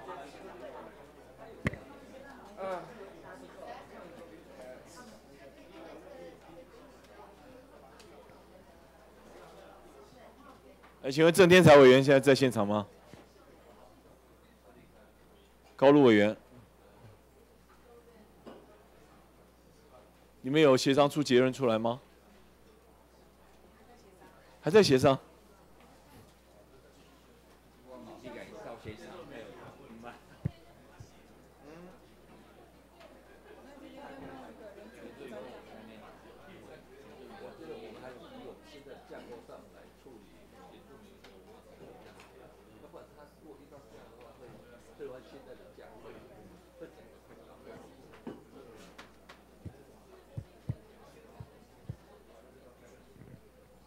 怎么委员不见了？那我们怎么是审？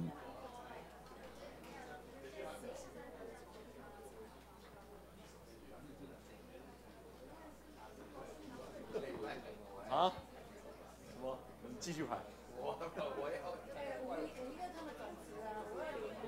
五一二，五一二就不处理了，五一二就不处理了。对啊对啊，十万就没有了。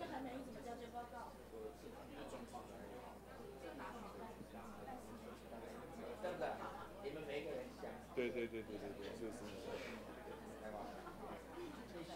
对啊，继续排，但我希望审审完这样比较单纯。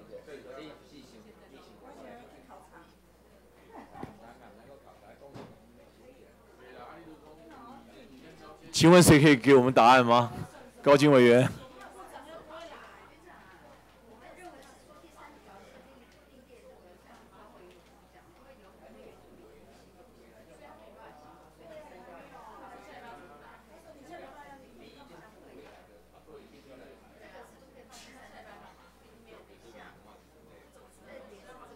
那你这样有客家的，有其他的都要摆进来的时候，就以后我们还有新住民的都可能有啊。那你到底怎么类别呢？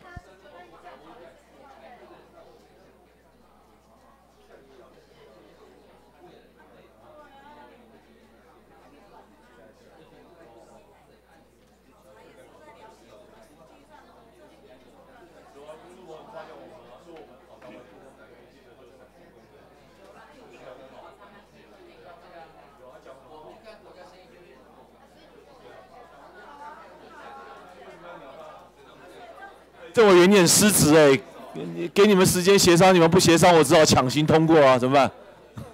协商结论是什么？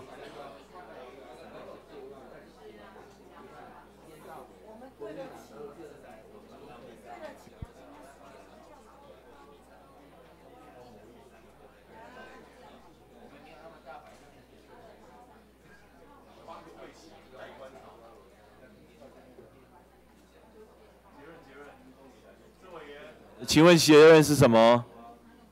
现在三个人的意见不同啊。那你叫我怎么办？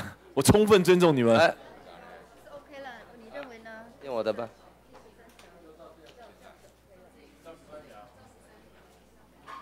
这个条文，呃，要请文化部哈、因为文化部刚才的发言哈、让我很不安呐、就说这个但书哈、但无法依第三条规定类别办理者之保存事项。我们的解读啊，从原住民的解读是，我们的这个文化资产的类别，哦，不限于第三条，就可以比有有第三条之外的一个可能性。呃，事实上已经有这样的一个一个事实嘛。呃，但是如果说我们要硬要从第三条所分类的，啊，比如说我们的库巴要硬要把它解读为历史建筑，它其实不是历史建筑嘛。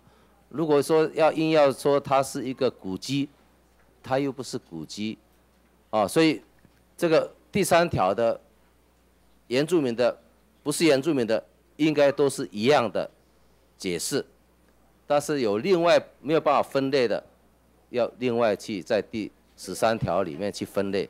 如果能够这样子认知的话，是这样认知就、嗯一般找文字照文字法走，那不限在那个之外的，就是按照第一条、第三条第一项第二款这样做，好不好？啊，OK，那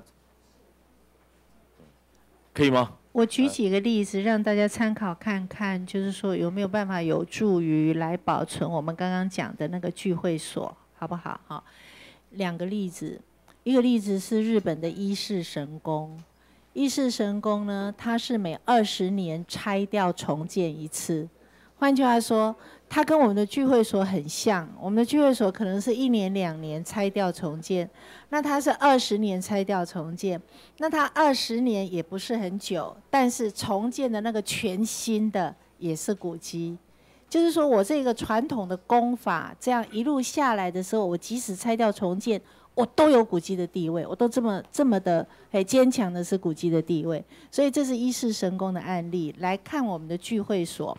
我们的聚会所如果要变古迹，绝对有那个地位，因为它是从我们最古老的祖先的建筑工法跟使用方式这样一路下来。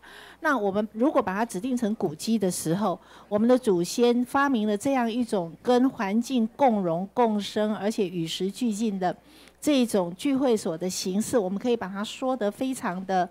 能够彰显出它伟大的价值，所以这一套整套它仍然是古迹，不会因为它被拆掉重建而不是古迹。这是一世神功的案例。那另外一个案例是台北市的蔡瑞月舞蹈社。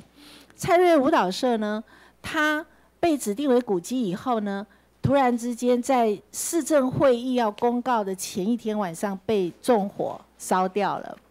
所以现在的蔡瑞月舞蹈社呢，其实没几年。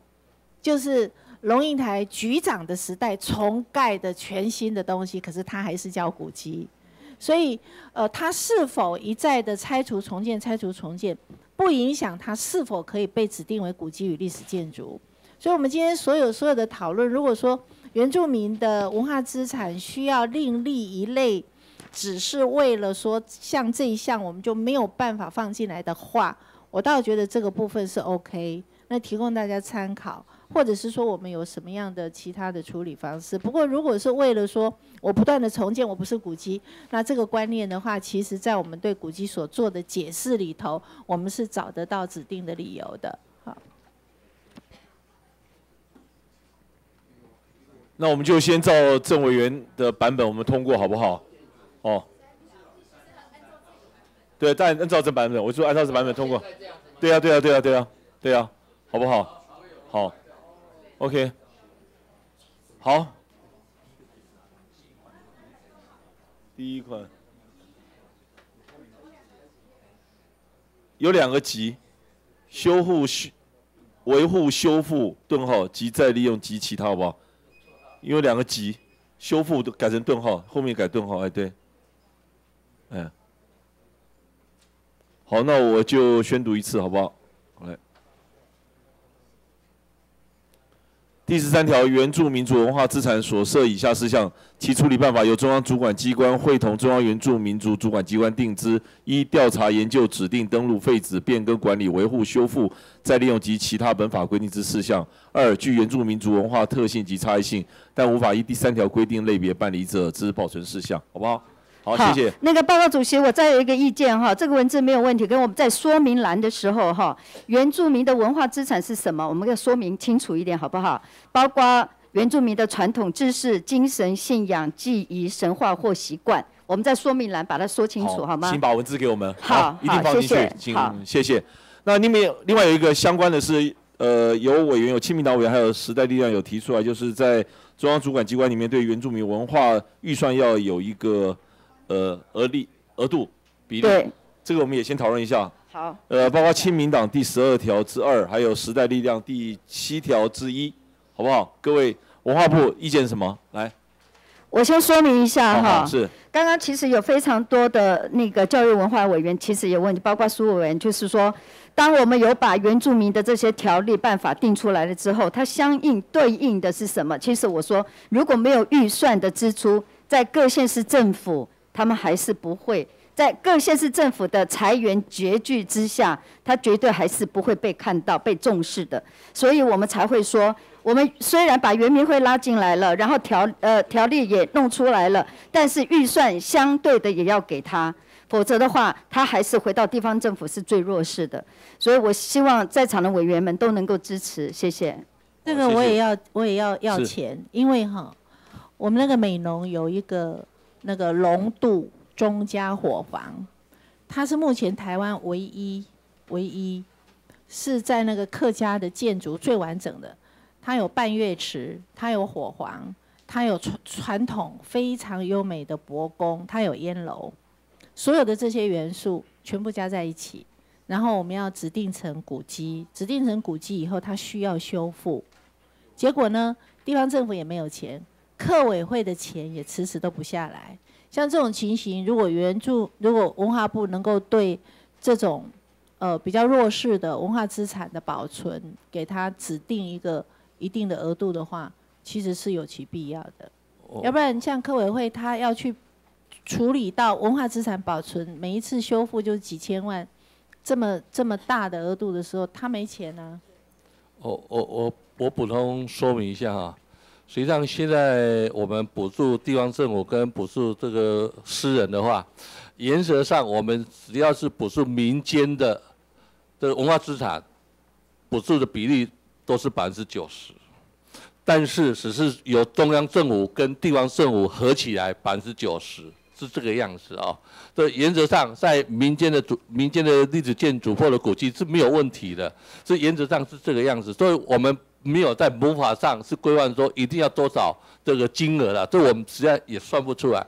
但是我们在我们的补助办法里面是有这样明定啊。如果说真的如果做一个会议决议的话，也许我们可以根据客家的或者是原住民的，我们是不是全额补助？但这个东西我们主计还是财务单位要支持啊。现在好像我们的主计单位跟财务财政单位好像。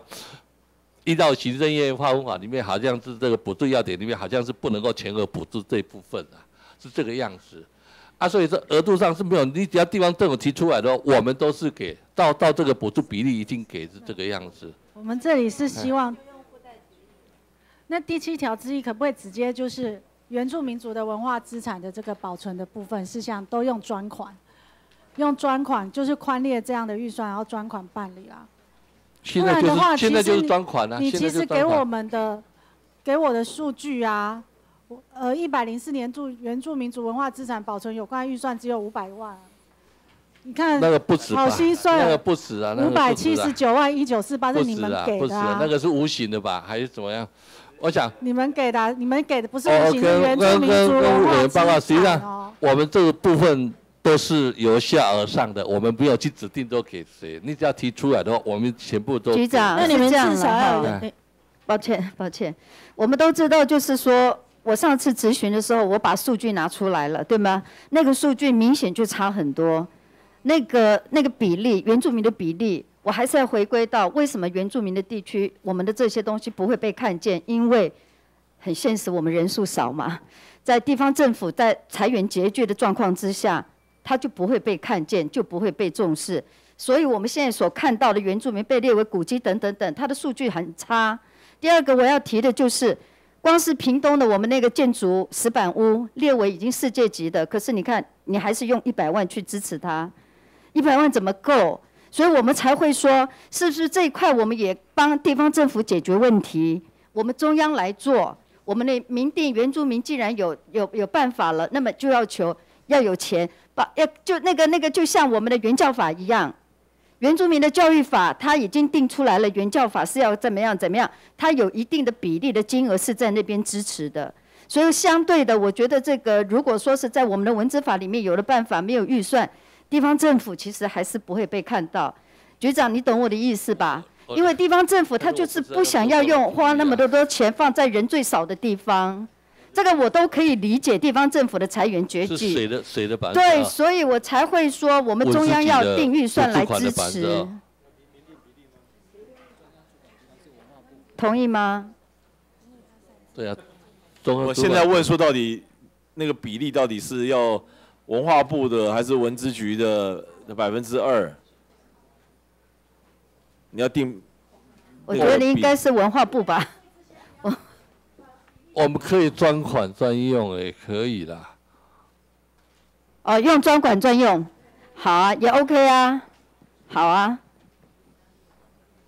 我们的补助款只要原住民的，原住民。专款专用啊，也 OK 啊。因为我们有一个后面有个条文是，过去我们文字法里面，像文化部它不会去补助其他的那个部会，比如客委会啦、原民会，但我们新修的文字法里面就可以给文化部有这个权限。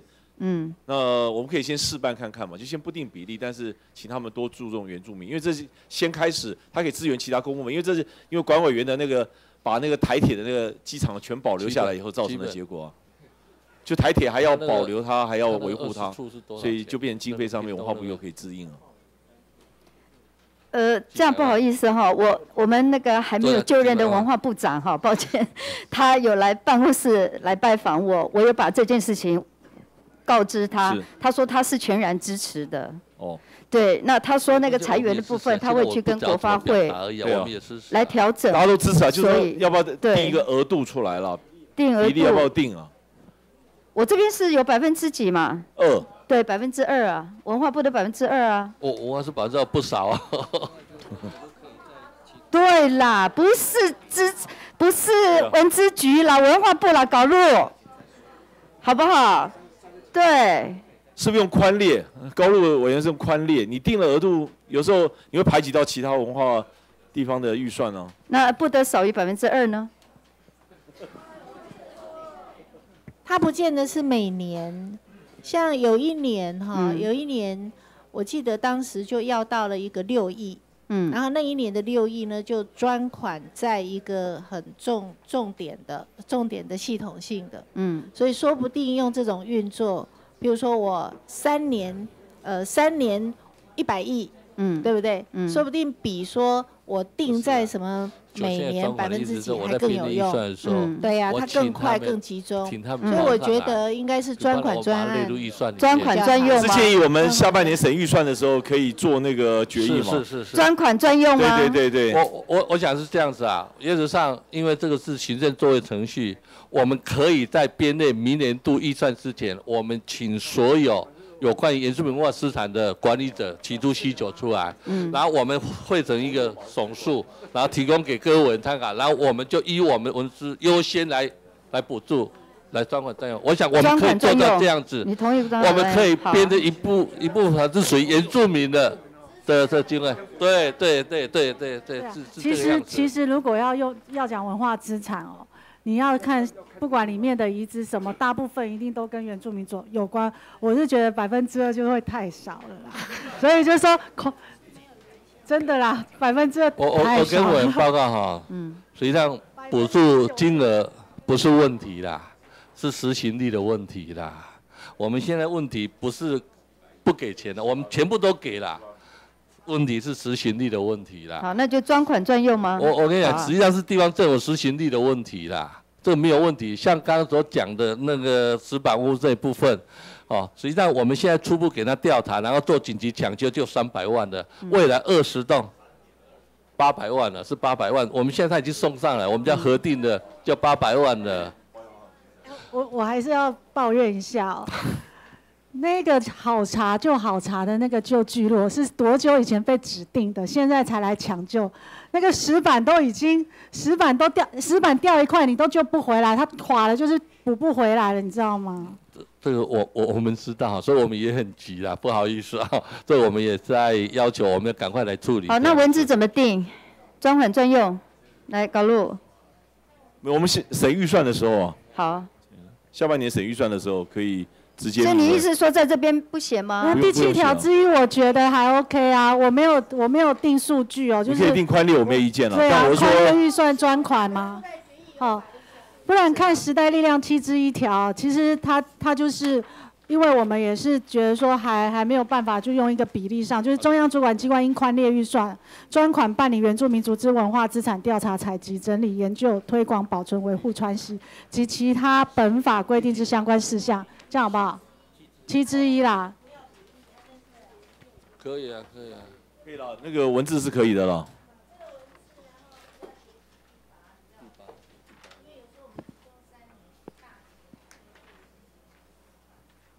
好了，我不好意思，我还是要说明一下，我当时定一个比例是希望它能够持续的稳定的，而并不是像现在有才用。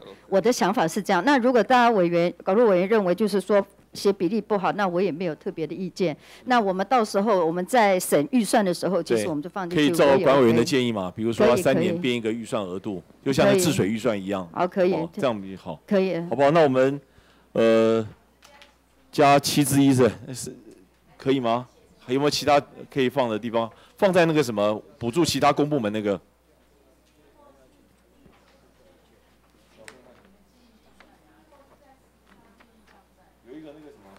八第八条，第八条，第八条，就刚刚那个七条之一一样，那个第八页还在第八页里面，第八页里面，对了，第八条了哎哎，第八条摆在呃后面加再加一项，对对对对。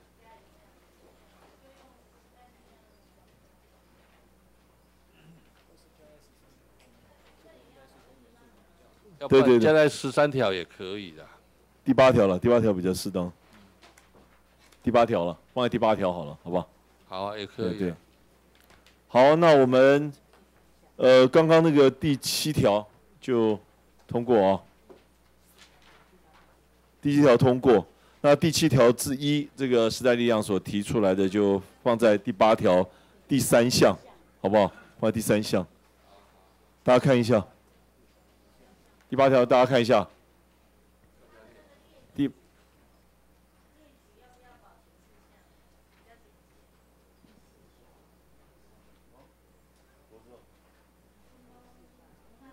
我们现在进入第八条，大家也看一下，顺便看一下第八条条文有没有什么需要修正的。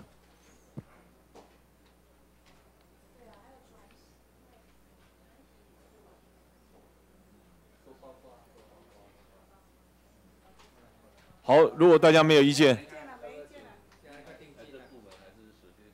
你干嘛给自己找麻烦？哎，好，第八条，那我就宣读喽。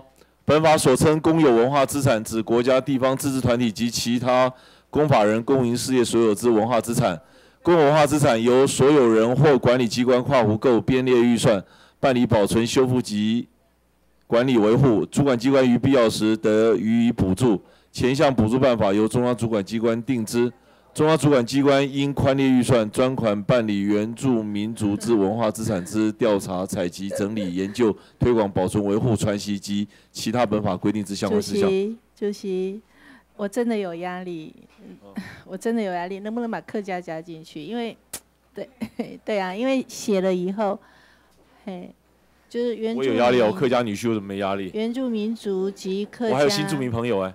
啊，他们还没有文化资产啊，嘿。对啊，但是原住民是这边的主人啊，对啊。我知道，但是就是说怕会会有那个，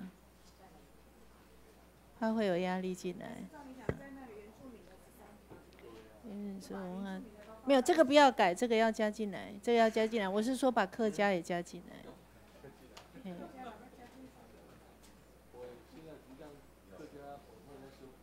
不然就是原住民族及其他少数族群嘛，哦，原住民族及其他少数族群嘛，这样子。你如果说客家写了，客家写那外省也是少数族群哦，外省也是少数族群哦。有啊，很多啊，有啊，有啊，有啊，那个没有。那只有我只有火肉狼不是哦。嗯。好啦，好啦，好啦，我有表达啦，尊重大家的决议我也知道很困难啊，对啊。但是我们尊重土地的主人原住民啊，加列这个好不好？大家都可以谅解了。好，就这个一定要加是对的了。那个字多了，我觉得那个有后面又字多了一个字啊，专款办理原住民族文化资产之调查。对了，哎哎，好好好，OK。好，那个管委员表达的立场，我也表达完立场了啊。那我们还是尊重原住民，好不好？可以吗？好，谢谢。好，第八条就这样通过。来，第九条，来，请来，大家看一下。第九条，主管机关应尊重文化资产所有人之权益，并提供其专业咨询。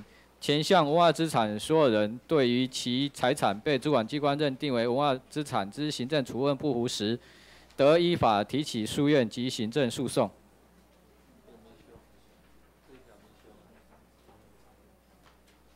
这条条文是原条文。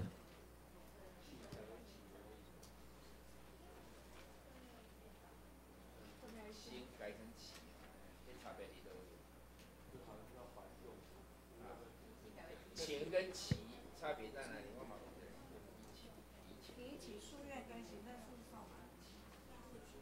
好，那第九条我就宣读哦。第九条，主管机关应尊重文化资产所有人之权益，并提供其专业咨询。前项文化资产所有人对于其财产被主管机关认定为文化资产之行政处分不服时，得依法提起诉愿及行政诉讼。好，那我们第九条就通过。来，我们第十条，请宣读。第十条，公有及接受政府补助之文化资产，其调查、研究、发掘、维护、修复、再利用、传习、记录等工作所绘制之图说、摄影照片、汇集之标本或印制之报告等相关资料，经予以列册，并送主管机关妥为收藏。前项资料除涉及文化资产之安全或其他法律法规另有规定外，主管机关应主动以网络或其他方式公开。前项资料之公开办法由中央主管机关定之。主席，哎，管委员是。这一条我那个修正案主要在处理说哈，一个是就是说我们的这些资料要不要去形成有极其大权的机构啦？有一些资料确实是值得去集中，让它在那个机构里面极其大权。我譬如说古地图，中央研究院它真的是累积了非常非常庞大的资料库。那你在其他的其他的单位如果都有，而他们都被指定成文化资产要保存的时候，那像这个最后就是说必要的时候移拨到相关机关保存展示，啊，就给予他这种呃这种呃权利，好，就是说我可以我可以去移拨，因为我们现在是说交各各机关自己去去保存嘛，所以我会在最后最后一项加上这个，主要是解决这个问题。那另外是纸本的部分，我们要不要去建立我们国家图书馆？就是我们所调查出来的这些资料，这些纸本集中在国家图书馆，可以有一个极其大权的的机构在那里典藏。那当然这个就涉及说它有没有那个能量可以吸收啦。好，所以呃呃最后一项的这个部分，我是觉得我们应该加进去，但是纸本的那个部分在立法说明里面。去说明，我是觉得就可以，呃，所以，所以那个我现在提的这个案哈，请大家看一下第十条，就是最后一项，如有必要，应移拨相关机关保存展示，这个能不能加进来？请文化那其他的就照那个那个行政院这个版本。来，请文化部说一下说明。我想有关于这个第二项，除涉及。可以，我们可以加国家安全应依其他相关法令办理的。我想涉及这个国家安全的部分，我想我们是可以另外有规定来特别处理之之外这样子，好不好？这一部分我们是不是把它加进来？所以因为图图书馆的部分，因为它这个能量上可能没办法，因为它是有，因为我们这里涵盖的包括有很多图书，而且范围非常广、非常多、量别。那对，所以我们是不是在说明？立法说明里面是是立法说明。所以你说后面是怎么加？对对，我们可以加国家安全这部分，这样来处理。我请教一下，现在可以呃，我们所有公有及接受政府补助的文化资产的这些调查报告，在哪里可以搜寻得到？可以很完整的，是连接到各文化局，因为有些是地方文化局做的，有些是各部分。有没有一个一个？现在目前我们在建构。有在建构，对，已经在建构，实际上可以到我们的网站里面可以搜寻，而且我们现在已经升级，从以前三十年前的都开始慢慢在收集的这部分，所有的一些调查，那个调查这个研究资料都可以都有，目前是这样子，我们现在目前在建构。还是何委员。呃，谢谢赵伟哈。那我本席也有提出第十条的一个修正案哦。那呃，当然第一个部分有关行政院版是公有及哦，接受政府补助之文化资产哦。那我的是公有货啦，其实两者的意思是差不多了啊，就是说统统要纳入了啊，统统要纳入哦。所以等一下请各位支持看怎么修正。那但是我加了一条哦，就是说。呃，这个有关这个我们接受政府补助这些文化资产的调查啦，等等等等，所有的资料相关的报告，我认为也应该要有定期追踪的一个机制。哦，我们刚刚在讨论的十二条是说所有的古迹啦，所有的历史建物啦，哈，所有的文化资产要列册追踪的一个机制。那现在对我们所接受政府补助的所有的文化资产的一个调查资料报告等等。哦，这些细节也应该是视同于这个整个文化资产的一个保存的一部分哦，所以我也认为应该要把这个所谓定期追踪的这个机制也要纳入。那这个办法当然呃由主管机关再来定一个相关的办法，这个我就尊重。我我回应一下说明，实际上这个第十条谈的是地方主管机关跟中央主管机关要针对所有公有跟这个接受政府补助的这文化资产，要把这些资料都送主管机关作为收藏。他现在意思是这个样子，被接受补助的还有公有的，他要把现有的管理维护跟所有资料都送主管机关。那这一部分呢，主管机关就依他目前的权责的话，他要做管理维护，包括税中这部分，是这样，他自己要一个档案的管理，要是从这个角度里面来看的。嗯，他意思说你报告做完就放在呃档案架里面，就后续没有任何的维护啊或什么的。有啊，现在现在是如果来申请要来使用的话，我们都 open。我们现在目前在经过我们的这个国家资料库了。那这一部分有把所有的工作报告书，把所有调查研究，从这个文字法开始之前，这这所进行的、所做的一些东西的一些资料，我们都已经在做升级的动作，而且已经目前在做了，已经有成成就，而且未来我们整个国家资料库的一个平台开放的时候，都可以来搜寻的，都可以来搜寻的。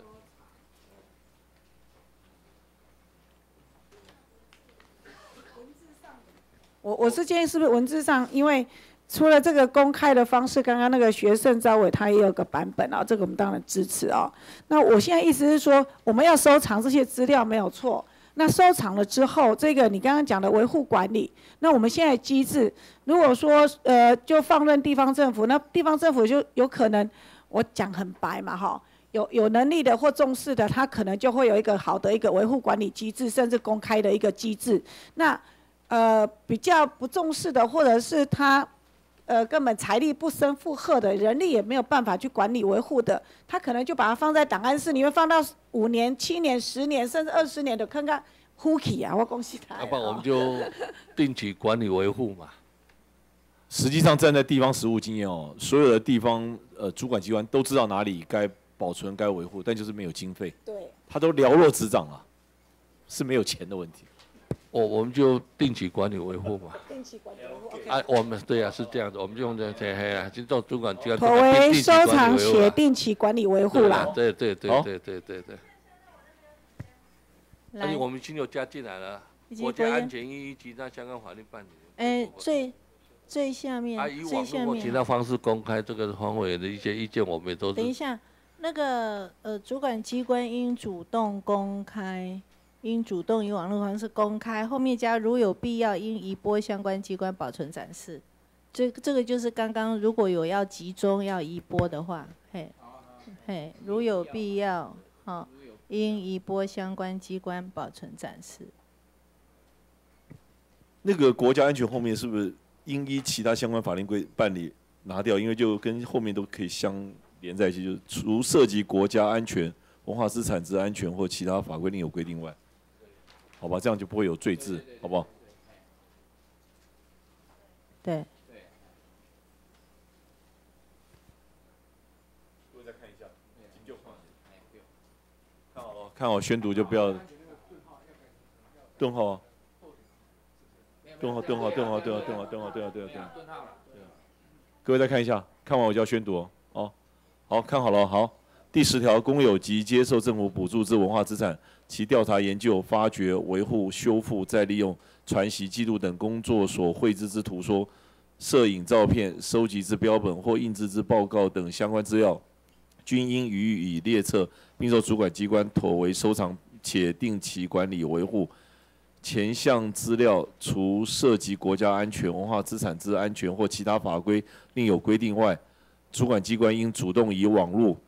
或其他方式公开，如有必要，应移拨相关机关保存展示。大家有没有意见？我是不想给自己找麻烦了。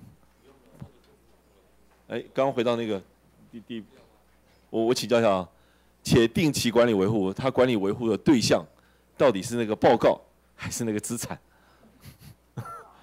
当然了，但念下来以后，很可能会产生。误会，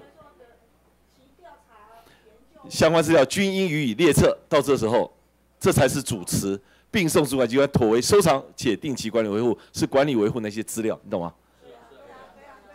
你不是要去管理那个资产啊？资产也有啊，资产本来就在我们的定期在十二条啊。哦，资产本来依法就要啦。报告还要管理维护啊？我误会你的意思了，我我刚刚意思是说，不要报告归报告，维护归维护，有了报告但是不维护。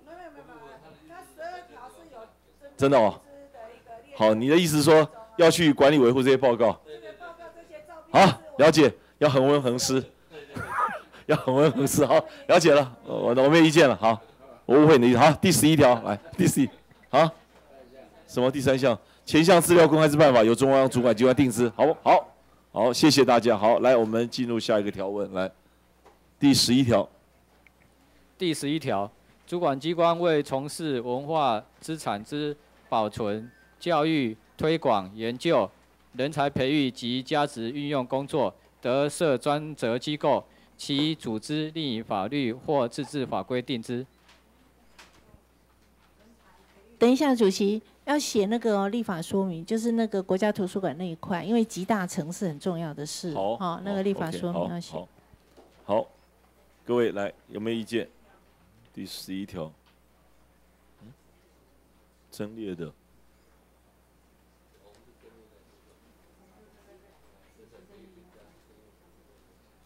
哦，他那个教育那个教育的部分，免那个赵伟，我我我有。有提案的哦，第十一条，那我也是针对这个人才培育将要纳入法源哦。嗯。那还有一个这个文化资产鉴定员的一个部分，我倒是想听听那个文资局的一个看法哈。那最重要，其实还有一个部分是有关这个落实教育，这个文化资产保存，我们是不是可以在教育体系里面，由我们文化部可以协调各级教育主管机关，可以督导落实在各级的教育阶段课程？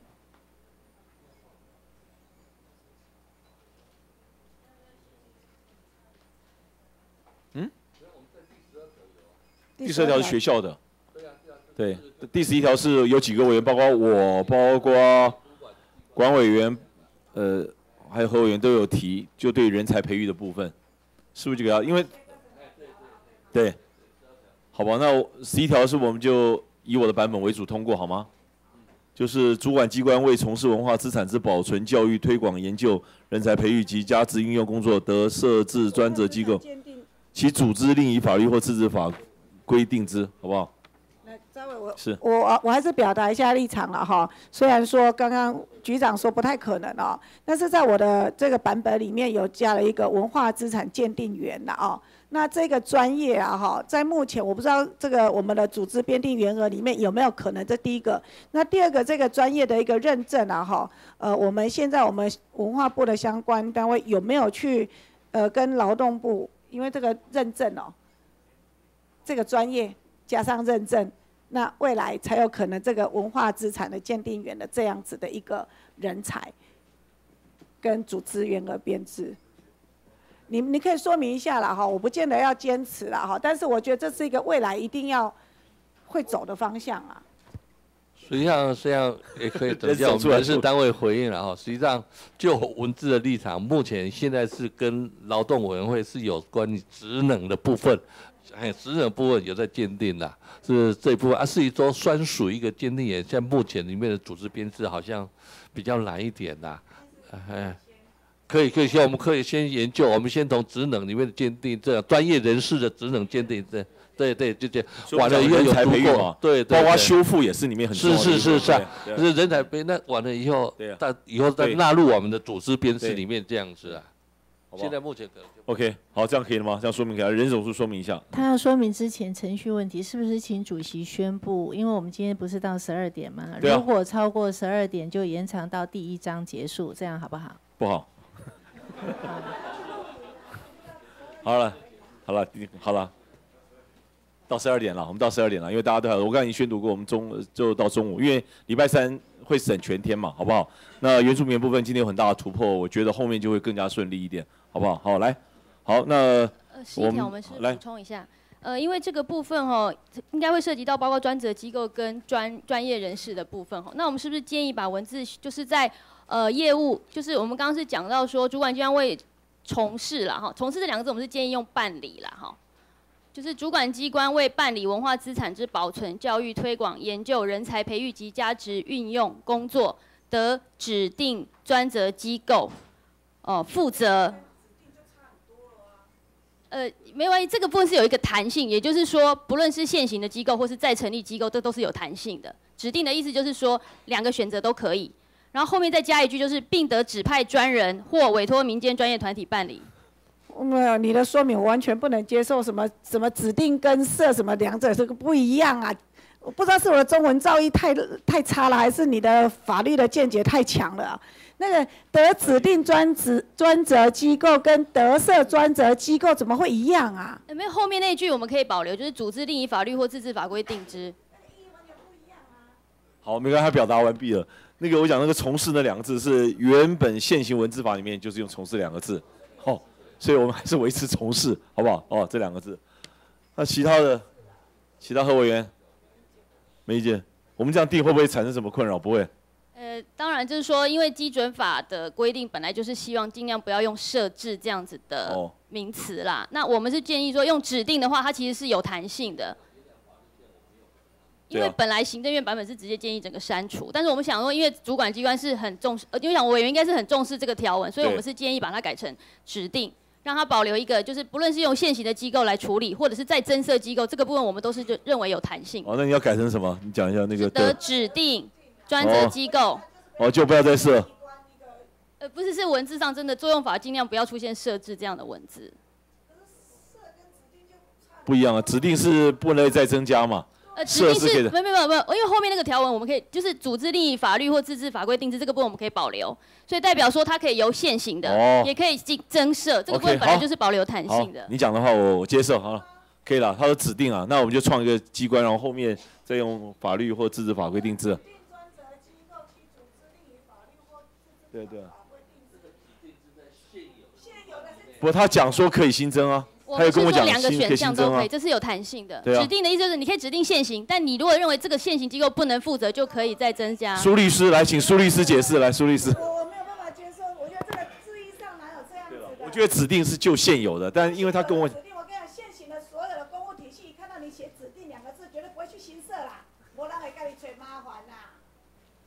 实物面上谁不知道？委员这个比较不好意思，就是因为基准法有这样的规定，因为我们站在法制的角度，我们只是 OK，好，陈述完毕了，好，建议啦，谢谢。好，了解了解，我有忧虑，但他们要保护国家余额不能增加，好，好，还是照原来德设专责机构，好了，好，OK，而且德不表示应嘛，好不好？好，好，好，就照这个，还是从事啊，好吧？因为是维持原条文加了一下，好。第十一条是主管机关为从事文化资产之保存、教育、推广、研究、人才培育及价值运用工作，得设专责机构，其组织另以法律或自治法规定之，好不好？因为是得设不是应设了，所以人事总处也请放心，好不好？来，我们最后一条审完以后，我们就休息，好吧？第十一条，呃，第十二，第十二，好，第十二条，为实施文化资产保存教育，主管机关应协调。各级教育主管机关督导各级学校于相关课程中为之。何委员有对不对？你的前项嘛，对就是这，对对，第二项里面有定，这个没问题吧？没问题，我们就通过，好不好？第十三条就照我们刚刚呃听过的这原住民的这个，好不好？原住民专专责条文，好不好？哦，那我们今天就审到第一章结束，各位还有没有意见？如果没有，就谢谢大家。好，明天呃礼拜三我们继续加油，好不好？谢谢各位，谢谢大家。非常好，非常好，二位谢谢，谢谢，谢谢，有成果，大突破，大突破，大突破，大突破。谢谢，坐下，坐下，坐下。第一张，第一张。我也谢谢，谢谢，真的是突破，突破，突破，后面比较顺，对对对对，后面比较。我有信心。哎对对。可不礼拜哎，部长请他礼拜三来，礼拜三回来就过了。礼拜三就完成了，对不对？哎哎，部长的第二公，有的是历史系的吗？我成大历史系，不是幼儿。你念上古史，念上古史还是民国史？